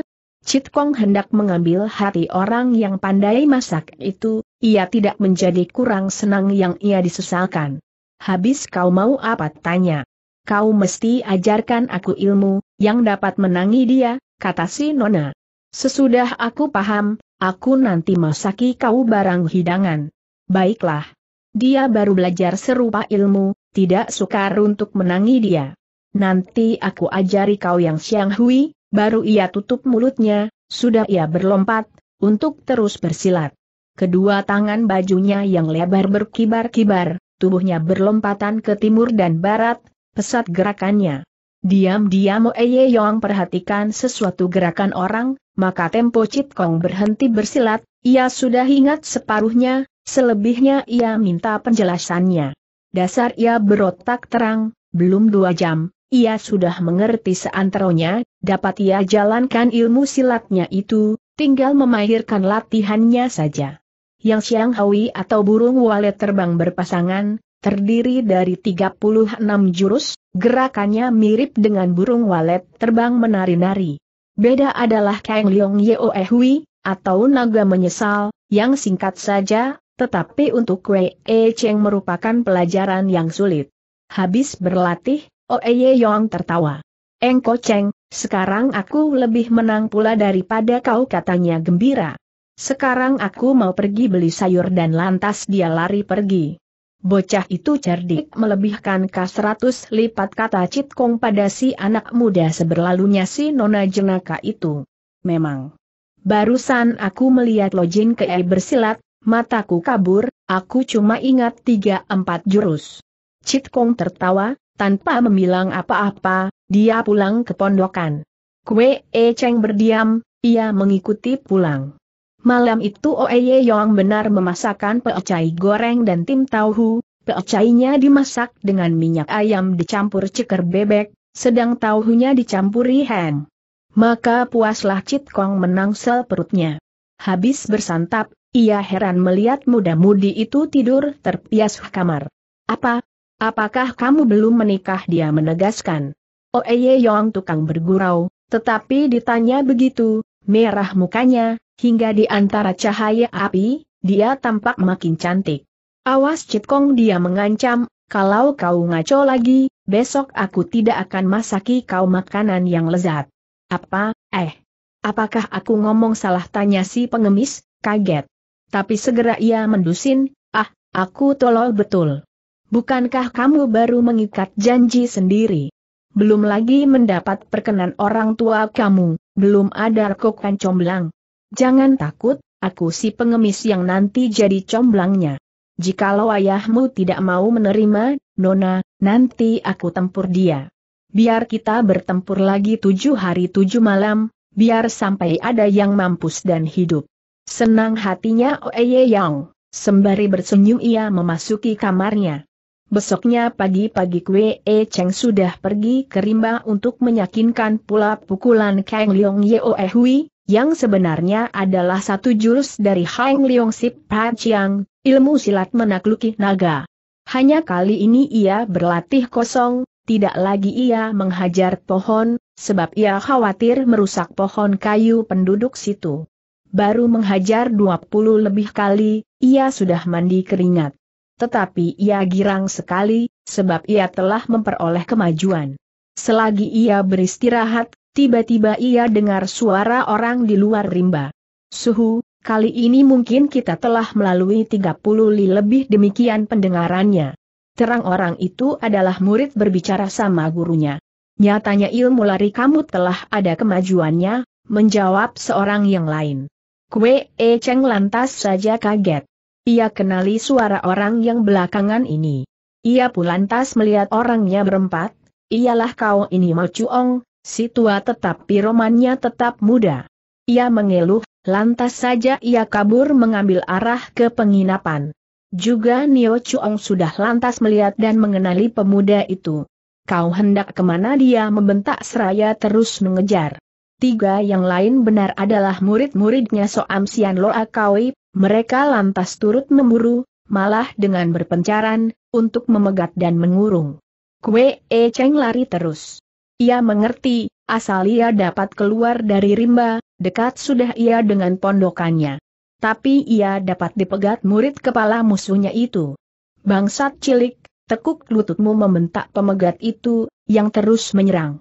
Kue E Cheng menekuk kaki kirinya, tangan kanannya diputar, lalu ia menolak. Itulah jurus Kang Leong Yeo Hui yang baru saja ia pelajari. Murid Nio Chuong itu hendak menjambak, karena ditolak, hendak ia menangkis. Inilah hebat untuknya. Segera ia terserang hingga lengannya itu patah dan tubuhnya terpental enam tujuh kaki, roboh tak sadarkan diri. Sekalipun ia berkelit, belum tentu ia bebas. Kue E Cheng sendiri heran. Sebenarnya ia memakai tenaganya cuma lima bagian, tapi akibatnya dahsyat sekali. Untuk sejenak ia tercengang, ketika ia mendusin, lekas ia lari pula. Nio Chuong melihat muridnya dirobohkan, ia kaget berbareng gusar, dia mengejar terus. Tepat di muka rimba, ia dapat memegat. Kue E Cheng kaget dan khawatir, sebab si musuh tangguh menghalangi di tengah jalan. Hampir tanpa berpikir, ia tekuk lagi kaki kirinya, tangannya dilingkarkan, lalu ia menolak dengan keras. Kembali ia menggunai jurus naga menyesal itu. Soam Sian Lo Ako Ai terperanjat. Ia tidak kenal pukulan itu, yang nampaknya hebat, terpaksa ia berkelit dengan menjatuhkan diri ke tanah dan bergulingan. Dengan begitu ia bebas, tapi justru itu, Kue E Cheng dapat menerobos untuk lari terus.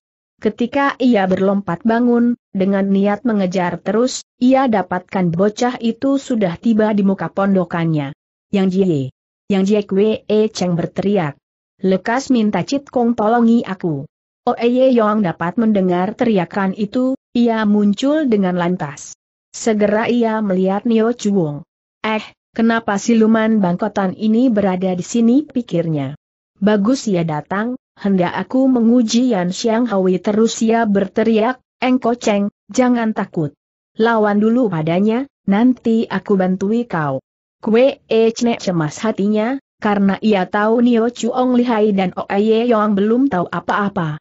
Tapi tidak sempat ia berpikir lama, musuhnya sudah menyandak. Ia memutar tubuhnya, kembali ia menyerang dengan pukulan Kang Leong Yeo Ehowi. Nio Chuong berlompat ke samping, kali ini ia kurang sebat, meski ia bebas, tangan kanannya terserempit juga, hingga ia merasakan sakit dan panas. Tentu sekali ia menjadi heran luar biasa. Baru beberapa bulan mereka berpisah, bocah ini telah menjadi demikian lihai. Ia menduga itulah disebabkan Kue E Cheng meminum darah ular. Ingat ini, ia menjadi tambah mendongkol.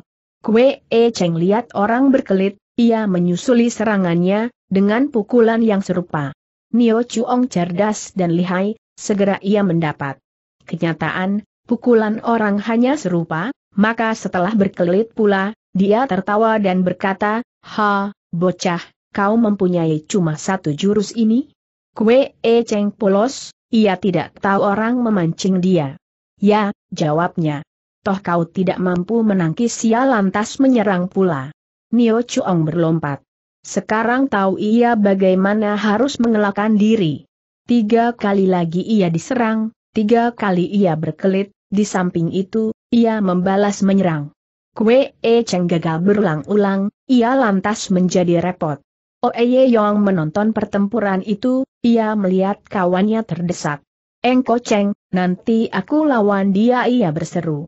Ia berlompat ke arah dua orang itu, tubuhnya melayang bagaikan seekor burung walet. Begitu tiba, kepalan kiri dan kaki kanannya segera dikasih bekerja dengan berbareng. Nio Chuong berlompat mundur, habis itu ia membalas menyerang. Kue E Cheng lantas mengundurkan diri, lalu ia berdiri menonton. Oeye Yong menggunai yang Siang Hui dengan baik, tetapi dasar masih baru dan ia pun kalah Iwe Ekang, ia tidak berdaya merobohkan jago tua itu, sebaliknya hampir-hampir ia kena dihajar beberapa kali oleh lawannya, syukur ia memakai tameng John Wiekah. Habis 36 jurus, ia pun kena terdesak. Dua muridnya Nio Chuong menolongi kakak seperguruannya, yang mereka pepayang, mereka menonton pertempuran itu, mendapatkan guru mereka. Unggul, mereka berteriak-teriak menganjurkan guru mereka itu. Kue E Cheng berkhawatir untuk kekasihnya itu, terpaksa hendak ia maju membantui. Justru itu ia dengar suara nyaring dari Ang Chit Kong, yang berada di aling jendela, dia bakal menggunai jurus sanjing galak memegat jalan. Oeye Yong mendengar itu, ia melengak. Ia melihat Nio Chuong memasang kuda-kuda terpentang dan kedua tangan dikasih rata. Ia kenali itulah sikap jurus harimau galak memegat jalan. Ia tertawa di dalam hatinya. Kiranya Cit Kong tukar harimau dengan anjing. Ia hanya heran kenapa Cit Kong dapat membadi niat orang. Ia lantas membela diri. Kembali Cit Kong berseru, dia bakal menggunai ular bau mengambil air. Oeye Yong sangat cerdas, lantas ia mengetahui, tentulah itu dimaksudkan jurus naga hijau menyedot air. Jurus itu lihai di depan, kosong di belakang. Karenanya dengan lincah ia berlompat nyamping, terus ke belakang lawannya. Nio Chuong benar-benar menyerang dengan pukulan naga hijau menyedot air itu. Tentu saja ia gagal, karena si Nona sudah mendahului menghalau diri malah ia jadi terluang punggungnya. Syukur ia lihai, dapat ia berkelit dari serangan si Nona. Segera ia memandang ke arah jendela rumah penginapan. Orang pandai siapa di situ? Mengapa kau tidak mau memperlihatkan diri dia berseru dengan pertanyaannya. Ang Chit Kong dengar suara menantang itu, ia membungkam. Oh Eye Yong ada tulang punggungnya, ia jadi berani sekali. Ia menerjang. Dalam murkanya Nio Chuong melawan dengan bengis, ia menggunai pukulan-pukulan yang membinasakan. Tentu sekali, si Nona segera terdesak pula. Jangan takut terdengar pula teriakannya Chit Kong. Dia bakal menggunai pukulan si kunyuk kempulan biru manjat pohon. Oeye Yong tertawa cekikikan, ia lantas mendahului menyerang dengan tinjunya. Nio Chuong benar-benar hendak menyerang dengan jurusnya yang disebut Chit Kong itu, hanya si pengemisan yang itu sengaja tukar namanya jurus itu, yang sebenarnya kerasakti manjat pohon. Melihat ia diserang, terpaksa ia membatalkan niatnya untuk membela diri, guna menukar jurus. Karena ia tahu, percuma ia melanjuti serangannya dengan tipu silat itu. Dasar ia lebih lihai, tidak sukar untuk ia menolong dirinya. Hanya ia jadi semakin heran. Ia tanya dirinya, Kenapa orang itu ketahui aku bakal menyerang dengan jurusku itu? Oeye Yong menyerang terus. Nio Chuong membela diri, habis mana, dia berlompat pula keluar kalangan. Ia berteriak ke arah pondokan, saudara yang baik, jikalau kau tetap tidak hendak memperlihatkan diri, jangan menyesal apabila aku tidak berlaku murah hati lagi. Di mulutnya Som Sian Lao Koai mengatakan demikian, tangannya bekerja. Ia maju menyerang Oye Yong. Hebat serangannya itu, maka dalam beberapa jurus saja, Sin Ona terdesak pula. Chit Kong tidak bersuara pula, ia pun tidak muncul. Kue E Cheng melihat kekasihnya terdesak dan kebuakan hingga ia mesti main berkelit saja, ia lantas maju untuk membantui. Segera ia menyerang denak pukulannya naga menyesal itu. Nio Chuong mengetahui hebatnya jurus itu, ia lompat mencelat. Hajar padanya, Engko Chengo Eye Yong menganjurkan. Serang terus-terusan hingga tiga kali beruntun. Habis menganjurkan, Nona itu memutar tubuhnya, lari ke dalam pondokan. Kue E Cheng menuruti anjuran pacarnya, ia memasang kuda-kudanya.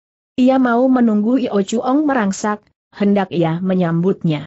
Som Sian Lo Akoai menjadi gusar berbareng mendulu, pun ia merasa lucu juga. Dalam hatinya ia berkata, setahu dari mana bocah ini dapat pelajari kurusnya ini, toh ia cuma mempunyai satu jurus, walaupun begitu, ia tidak berani keras lawan keras, bahkan tidak berani ia datang mendekati. Karena terpisah cukup jauh, Kue E Cheng tidak bisa menyerang. Dengan begitu, pertempuran jadi mandek, mereka berdiri berhadapan saja. Anak tolol, awas Io Chuong berteriak kemudian, terus ia berlompat, untuk menyerang. Kue E Cheng menanti, lantas ia menyambuti dengan serangannya. Tapi orang sini mau itu menggunai akal. Dia tidak menyerang terus.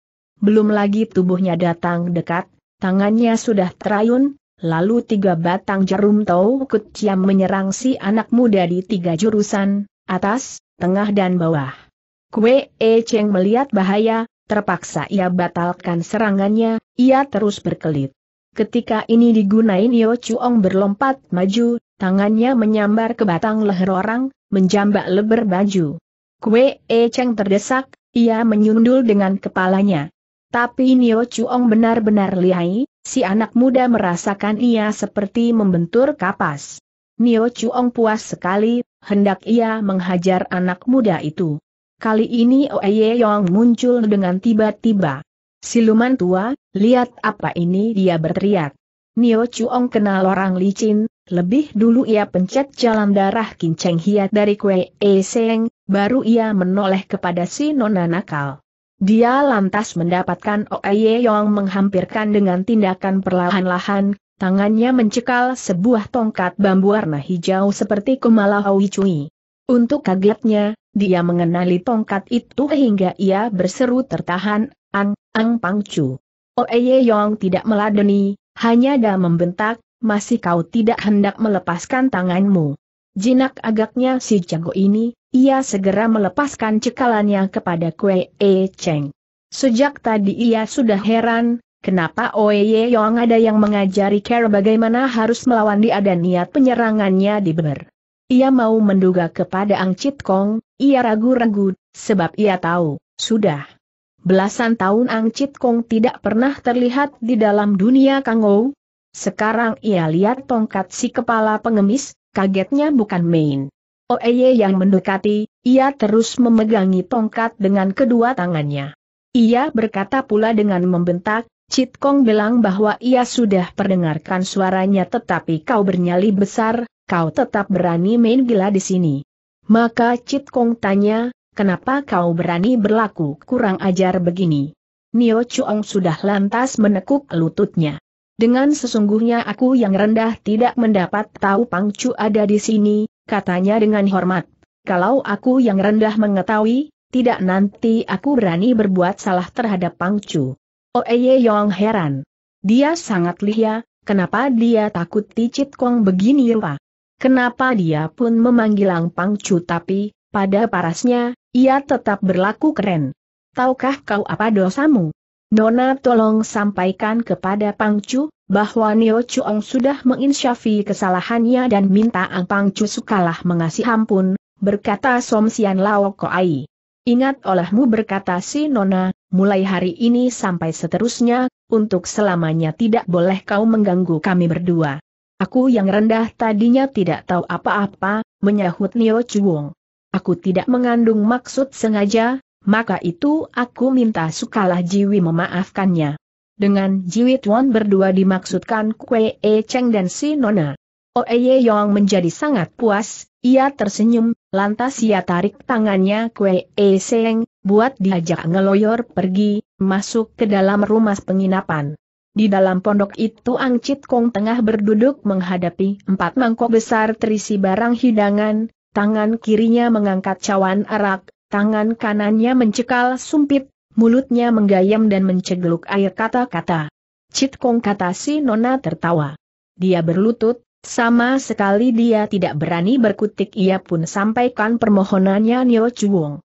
Chit Kong menoleh kepada Kue E Cheng, pergi kau hampirkan dia, kau hajar serintasan, tidak nanti dia berani melawan katanya.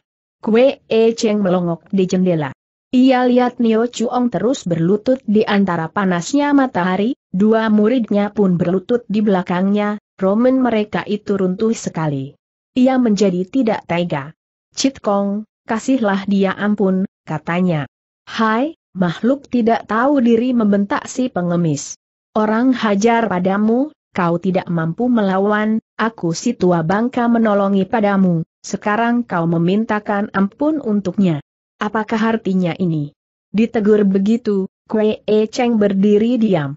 Ia tidak sangka si pengemis, yang biasanya jenaka dan manis budi, sekarang menjadi galak begini. Oye Yong tertawa, dia datang sama tengah. Cit Kong, nanti aku yang hajar dia katanya. dan lantas ia bertindak keluar dengan masih membawa tongkat istimewa itu. Ia hampirkan Nio Chuong, yang berlutut tanpa bergeming, wajahnya wajah ketakutan. Oeye Yong lantas menegur, Cit Kong bilang kau jahat, hari ini sebenarnya kau mesti disembelih, tetapi syukur ada aku punya engkoceng yang hatinya murah, dia telah memintakan ampun untukmu, ia memohon lama juga barulah Cit Kong meluluskannya. Kata-kata itu ditutup dengan diangkatnya tongkat, dihajarkan ke kempolan orang. Nah, kau pergilah akhirnya si Nona mengusir. Nio Chuong tidak segera mengangkat kaki, ia hanya memandang ke arah jendela.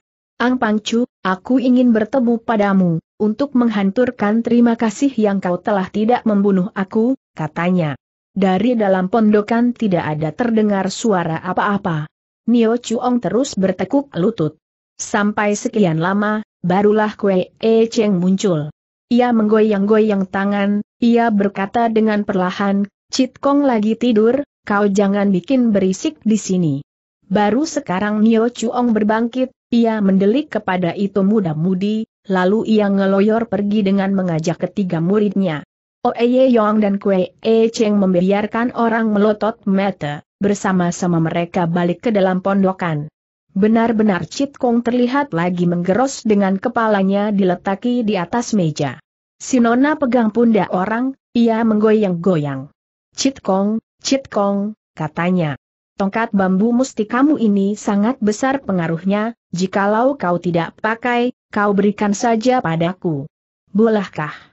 Cit Kong mengangkat kepalanya, ia menguap, ia pun mengulet. Enak saja kau membuka suaramu katanya tertawa. Bendaku ini adalah alat peranti mencari makan dari kakekmu. Seorang pengemis tanpa tongkat pemukul anjing mana bisa jadi pengemis? Oeye Yong bermanja. Ilmu silatmu sudah sangat lihai, orang jeri padamu, habis untuk apa kau menghendaki tongkat ini dia mendesak. Hai, budak tolol tertawa si pengemis. Sekarang lekas kau masaki aku beberapa rupa barang hidangan yang lezat, Sebentar aku menutur perlahan-lahan padamu. Oeye yang menurut, ia lantas pergi ke dapur. Ia menyiapkan tiga rupa masakan. Apabila sudah selesai, ia bawa itu keluar. Cit Kong memegang cawan araknya dengan tangan kanan, tangan kirinya memegang sepotong ham, yang ia gerogoti. Ia mengunyah perlahan-lahan. Makhluk di dalam dunia ini tidak ada yang tidak berkumpul dengan seterunya, ia berkata kemudian. Hartawan yang kemaruk uang satu rombongan, orang rimba hijau tukang membegal atau merampok satu rombongan juga. Demikian kami si tukang minta-minta, kami pun berkumpul dalam satu golongan. Aku tahu sudah, aku tahu sudah Hoeye Yong memotong seraya ia menepuk-nepuk tangan. Tadi Nima Chuong memanggil kau Pangcu, kau jadinya adalah pemimpin dari tukang minta-minta, Cerdik nona ini, ia lantas dapat menerka. Benar Cit Kong mengaku. Kami bangsa pengemis biasa orang hinakan, bisa digigit anjing, apabila kami tidak bersatu, mana dapat kami hidup. Maka juga ini sebatang tongkat serta ini sebuah cupu-cupu, semenjak zaman Cian Tong Go Tai sampai hari ini, sudah beberapa ratus tahun, selamanya dipegang oleh orang yang menjadi pangcu, ialah pemimpin kepala, jadi inilah mirip dengan capnya seorang kaisar atau capnya satu pembesar negeri. Mendengar itu, Oye Yong meleletkan lidahnya. Syukur kau tidak mengasihkan padaku katanya. Kenapa Cit Kong tertawa? Jikalau semua pengemis di kolong langit ini pada mencari aku, untuk aku mengurus mereka, apakah itu tidak ket sahutnya? Cit Kong tertawa pula. Ia grogoti pula sepotong ceker. Ia berkata pula, rakyat negeri di utara diurus oleh negeri Kim, rakyat negeri di selatan diurus oleh kerajaan Song. Tetapi pengemis di kolong langit ini tidak peduli mereka yang dari selatan atau utara, semua mereka diurus oleh kau, Lejin Keoeye yang mendahului. Ang Chit Kong tertawa terbahak, ia mengangguk. Pantaslah itu siluman bangkotan Shinyo sangat. Jeri padamu si Nona menyambungi. Kalau semua pengemis di kolong langit ini mencari dia, untuk mengganggu, nah, bukan main sulitnya dia. Umpama satu pengemis menangkap seekor tuma itu ditaruh di lehernya, tidakkah ia bakal mampus kegatalan? Kue E Cheng tertawa. Ang Chit Kong tidak gusar, ia malah turut tertawa. Tetapi, menjelaskan si Raja pengemis kemudian. Dia takuti aku bukannya karena itu, habis karena apa tanya Oye Yong. Itulah kejadian pada kira-kira 20 tahun yang lampau. Itu hari aku bertemu dengannya di Kuhan GWA, kebetulan ia tengah melakukan satu pekerjaan buruk dan aku pergoki dia. Pekerjaan buruk apakah itu tanya si Nona. Citkong agaknya bersangsi tetapi ia menerangkan juga, siluman tua itu percaya kepada omongan sesat tentang memetik bunga untuk menambah tenaga atau panjang umur, dia lantas cari banyak nona-nona untuk dirusaki kesucian dirinya. Apakah itu yang dinamakan merusak kesucian nona-nona tanya si nona kembali. Oh Eye Yong polos, ia belum mengetahui tentang hal kesucian yang dirusak itu. Ketika ia dilahirkan, ibunya lantas menutup mata disebabkan sukar melahirkan, dari itu semenjak bayi ia dirawat oleh ayahnya, kemudian terjadi Oye Yok sumuka besar disebabkan Tan Hian Hang dan Bwe Tiao Hong, Kedua muridnya itu, yang memainkan lelakon asmara dan minggat, saking kalapnya, dia putuskan urat-urat semua muridnya yang lainnya, yang ia pun usir pergi dari Pulau Tohoatu. Maka di pulau itu ketinggalan saja beberapa bujang tua, hingga si Nona belum pernah dengar soal-soalnya pemuda dan pemudi. Dewasa begitulah sampai usianya 15 tahun, ia tetap gelap mengenai hal itu kalau toh ia suka sama kue eseng, itulah karena perasaannya yang wajar, perasaan yang ia rasakan manis, apabila mereka berpisahan, segera ia merasa sunyi seorang diri. Tapi ia tahu, kalau orang menjadi suami istri, orang tidak bakal berpisahan pula seumur hidupnya, maka itu ia anggap kue E Cheng sudah menjadi sebagai suaminya, lain daripada itu, ia gelap. Untuk sejenak itu, Cit Kong pun dipersulit pertanyaan si Nona, hingga ia tidak lantas memberikan jawabannya. Setelah satu Nona dirusak kesuciannya, apakah dia lantas dibunuh Oye Yong tanya pula. Bukannya begitu, Cit Kong tertawa. Wanita yang diperhina secara demikian, hebatnya melebihkan daripada dibunuh. Maka juga ada pembilangan, hilang kesucian urusan besar, metu kelaparan urusan kecil. Habis, apakah dia dihajar kempulannya si Nona tanya pula. Cis berludah Citkong tetapi dia tertawa. Bukannya begitu, budak. Baiklah kau pulang untuk menanyakan keterangan ibumu. Ibu sudah lama tutup mata, sahut si Nona. Oh, si pengemis melengak. Nanti saja, kapan? Tibanya kamu berdua merayakan pernikahanmu, kau bakal mengerti sendiri. Mukanya si Nona menjadi merah, ia memonyongi mulutnya. Sudahlah jikalau kau tidak sudi menerangkan katanya. Samar-samar ia mulai. Mengerti duduknya hal. Ia menanya pula, habis bagaimana sesudah kau pergoki si siluman bangkotan itu berbuat buruk? Lega si pengemis mendengar orang bicara dari lain soal. Pasti sekali aku urus dia ia menyahuti, orang sini mau itu telah kena aku bekuk, aku hajar dia, Aku paksa ia mengantari pulang semua nona-nona itu ke rumahnya masing-masing. Lain dari itu aku paksa ia mengangkat sumpah bahwa di lain waktu dia tidak lagi berbuat sejahat itu, dan aku ancam, apabila aku mempergokinya pula, ia bakal mati tidak, hidup pun tidak. Oh, kiranya demikian. Kemudian, habis bersantap, Oeye yang berkata, Cit Kong, kalau sekarang kau kasihkan tongkatmu kepadaku, aku juga tidak sudi menerimanya, hanya masih ada satu saol. Bukankah kita tidak bakal berdiam bersama-sama untuk selama-lamanya? Bagaimana kalau di lain waktu kami berdua bertemu pula sama siluman sinimau itu dan dia membilangnya padaku, Hi, budak yang baik, dulu hari kau mengandalkan Ang Pancu, kau menghanjar aku dengan tongkatnya, sekarang aku hendak membalas sakit hati kalau sampai terjadi begitu, bagaimana kami harus berbuat? Angcit Kong tertawa. Ha! Kau sebenarnya menghendaki aku mengajari pula lain ilmu silat kepada kau berdua. Kau kira aku tidak tahu sekarang pergilah kau masak syaur lagi, bikinlah banyakan, kau boleh percaya Cit Kong tidak nanti membikin kau kecele. Oeye Yong menjadi sangat girang, ia sambar tangannya si pengemis, untuk dibawa ke rimba tadi. Ang Chit Kong mengajarkan pula jurus yang baru kepada Kue E Seng, yaitu jurus kedua dari Hang Leong Sip Pa Chiang, namanya Hawi Leong Tai Tian atau naga terbang ke langit. Jurus ini mewajibkan Kue E Cheng lompat tinggi sekali, lalu dari atas ia menyerang turun, hingga tenaganya menjadi luar biasa besar. Untuk ini, Kue E Cheng memerlukan tempo tiga hari, baru ia dapat melatih dengan baik. Selama tiga hari itu, Oye Yong sendiri sudah mendapatkan pelajaran lain, ialah untuk dengan tempuling Inggo BJHY memecahkan sebatang golok. Semenatar itu Ang Chit Kong sendiri telah menikmati belasan macam makanan lezat dari si Nona. Demikianlah hari-hari lewat. Tidak sampai satu bulan, Chit Kong sudah wariskan 15 jurus dari Hang Leong Sip Pa Chiang, dari naga menyesal sampai pada Leong Tian Ie atau naga bertempur di tanah datar. Ilmu silat Chit Kong ciptakan sendiri setelah ia memahami kitab Yakeng, jurusnya terbatas sekali tetapi kegunaannya besar, sebab setiap jurusnya hebat.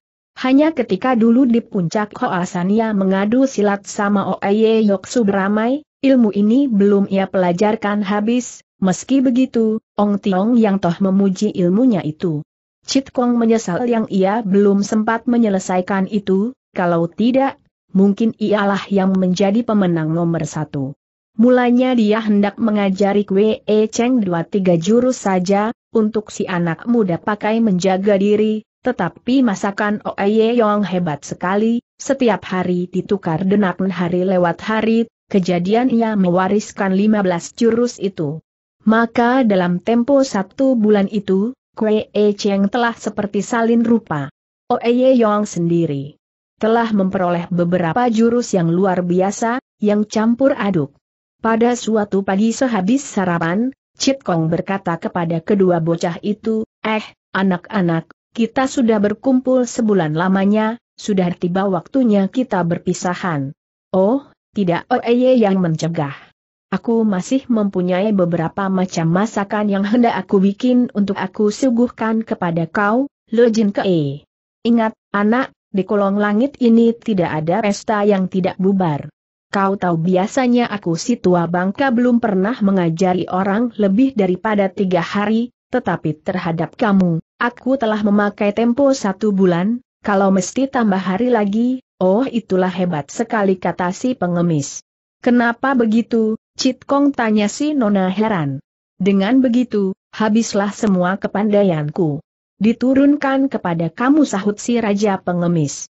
Oeye Yong tersenyum tetapi ia kata, Cit Kong, orang baik mesti sekali berbuat baik seterusnya berbuat baik hingga di akhirnya.